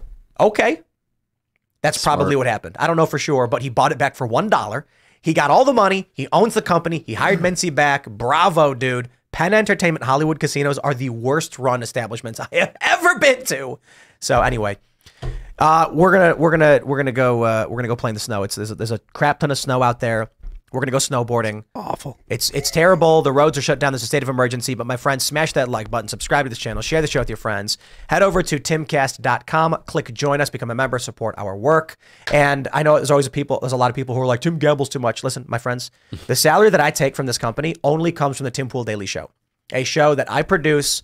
99% on my own in the mornings that I record that makes money. That's the money I pay myself. Everything else from like Timcast IRL, your membership goes to putting up billboards, buying commercials of Alex Stein, we did $25,000 in a commercial of Alex Stein trying to freebase coffee. That's kind of so you might be thinking, wow, that's the stupidest thing I ever heard. I better not give this guy money. Then don't. No, But that's you- awesome. Right. But if you like that we're doing those things, that's what your membership gets. We also, it enables us to do these on the ground shows. We're doing more live events this year. And so that, and then we hire more people. We're producing music. We're building culture. We've got documentaries and shows. So uh, support our work if you like it. You can follow the show at Timcast IRL. You can follow me personally at Timcast. ALX, do you want to shout anything out? ALX on X.com. Simple enough. I am Phil that remains on Twix. I'm Phil that remains official on Instagram. The band is all that remains. You can follow us on Spotify, Apple Music, Pandora, YouTube, Amazon. You know. Oh wait, you know. And one more thing. Don't forget. The left lane is for crime. For crying? Crime. You know, those, you know, you know that saying they say, be gay, do crime? Yeah. The opposite of that is don't be gay, don't do crime. Yeah.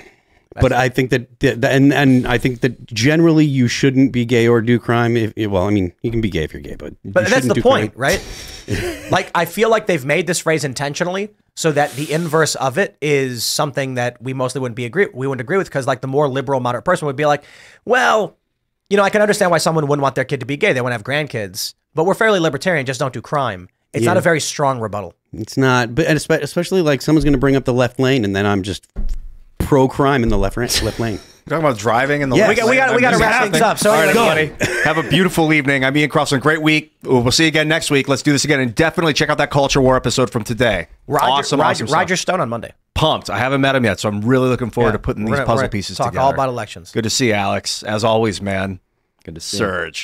Yo, Alex, pleasure, man. Uh, as always, good to actually talk to you this time. Uh, yeah, I'm excited for the weekend and for dealing with the snow and the rest of this uh, this storm that's going to be happening. Uh, let's just uh, go home. All right, everybody. We will see you all on Monday. Thanks for hanging out.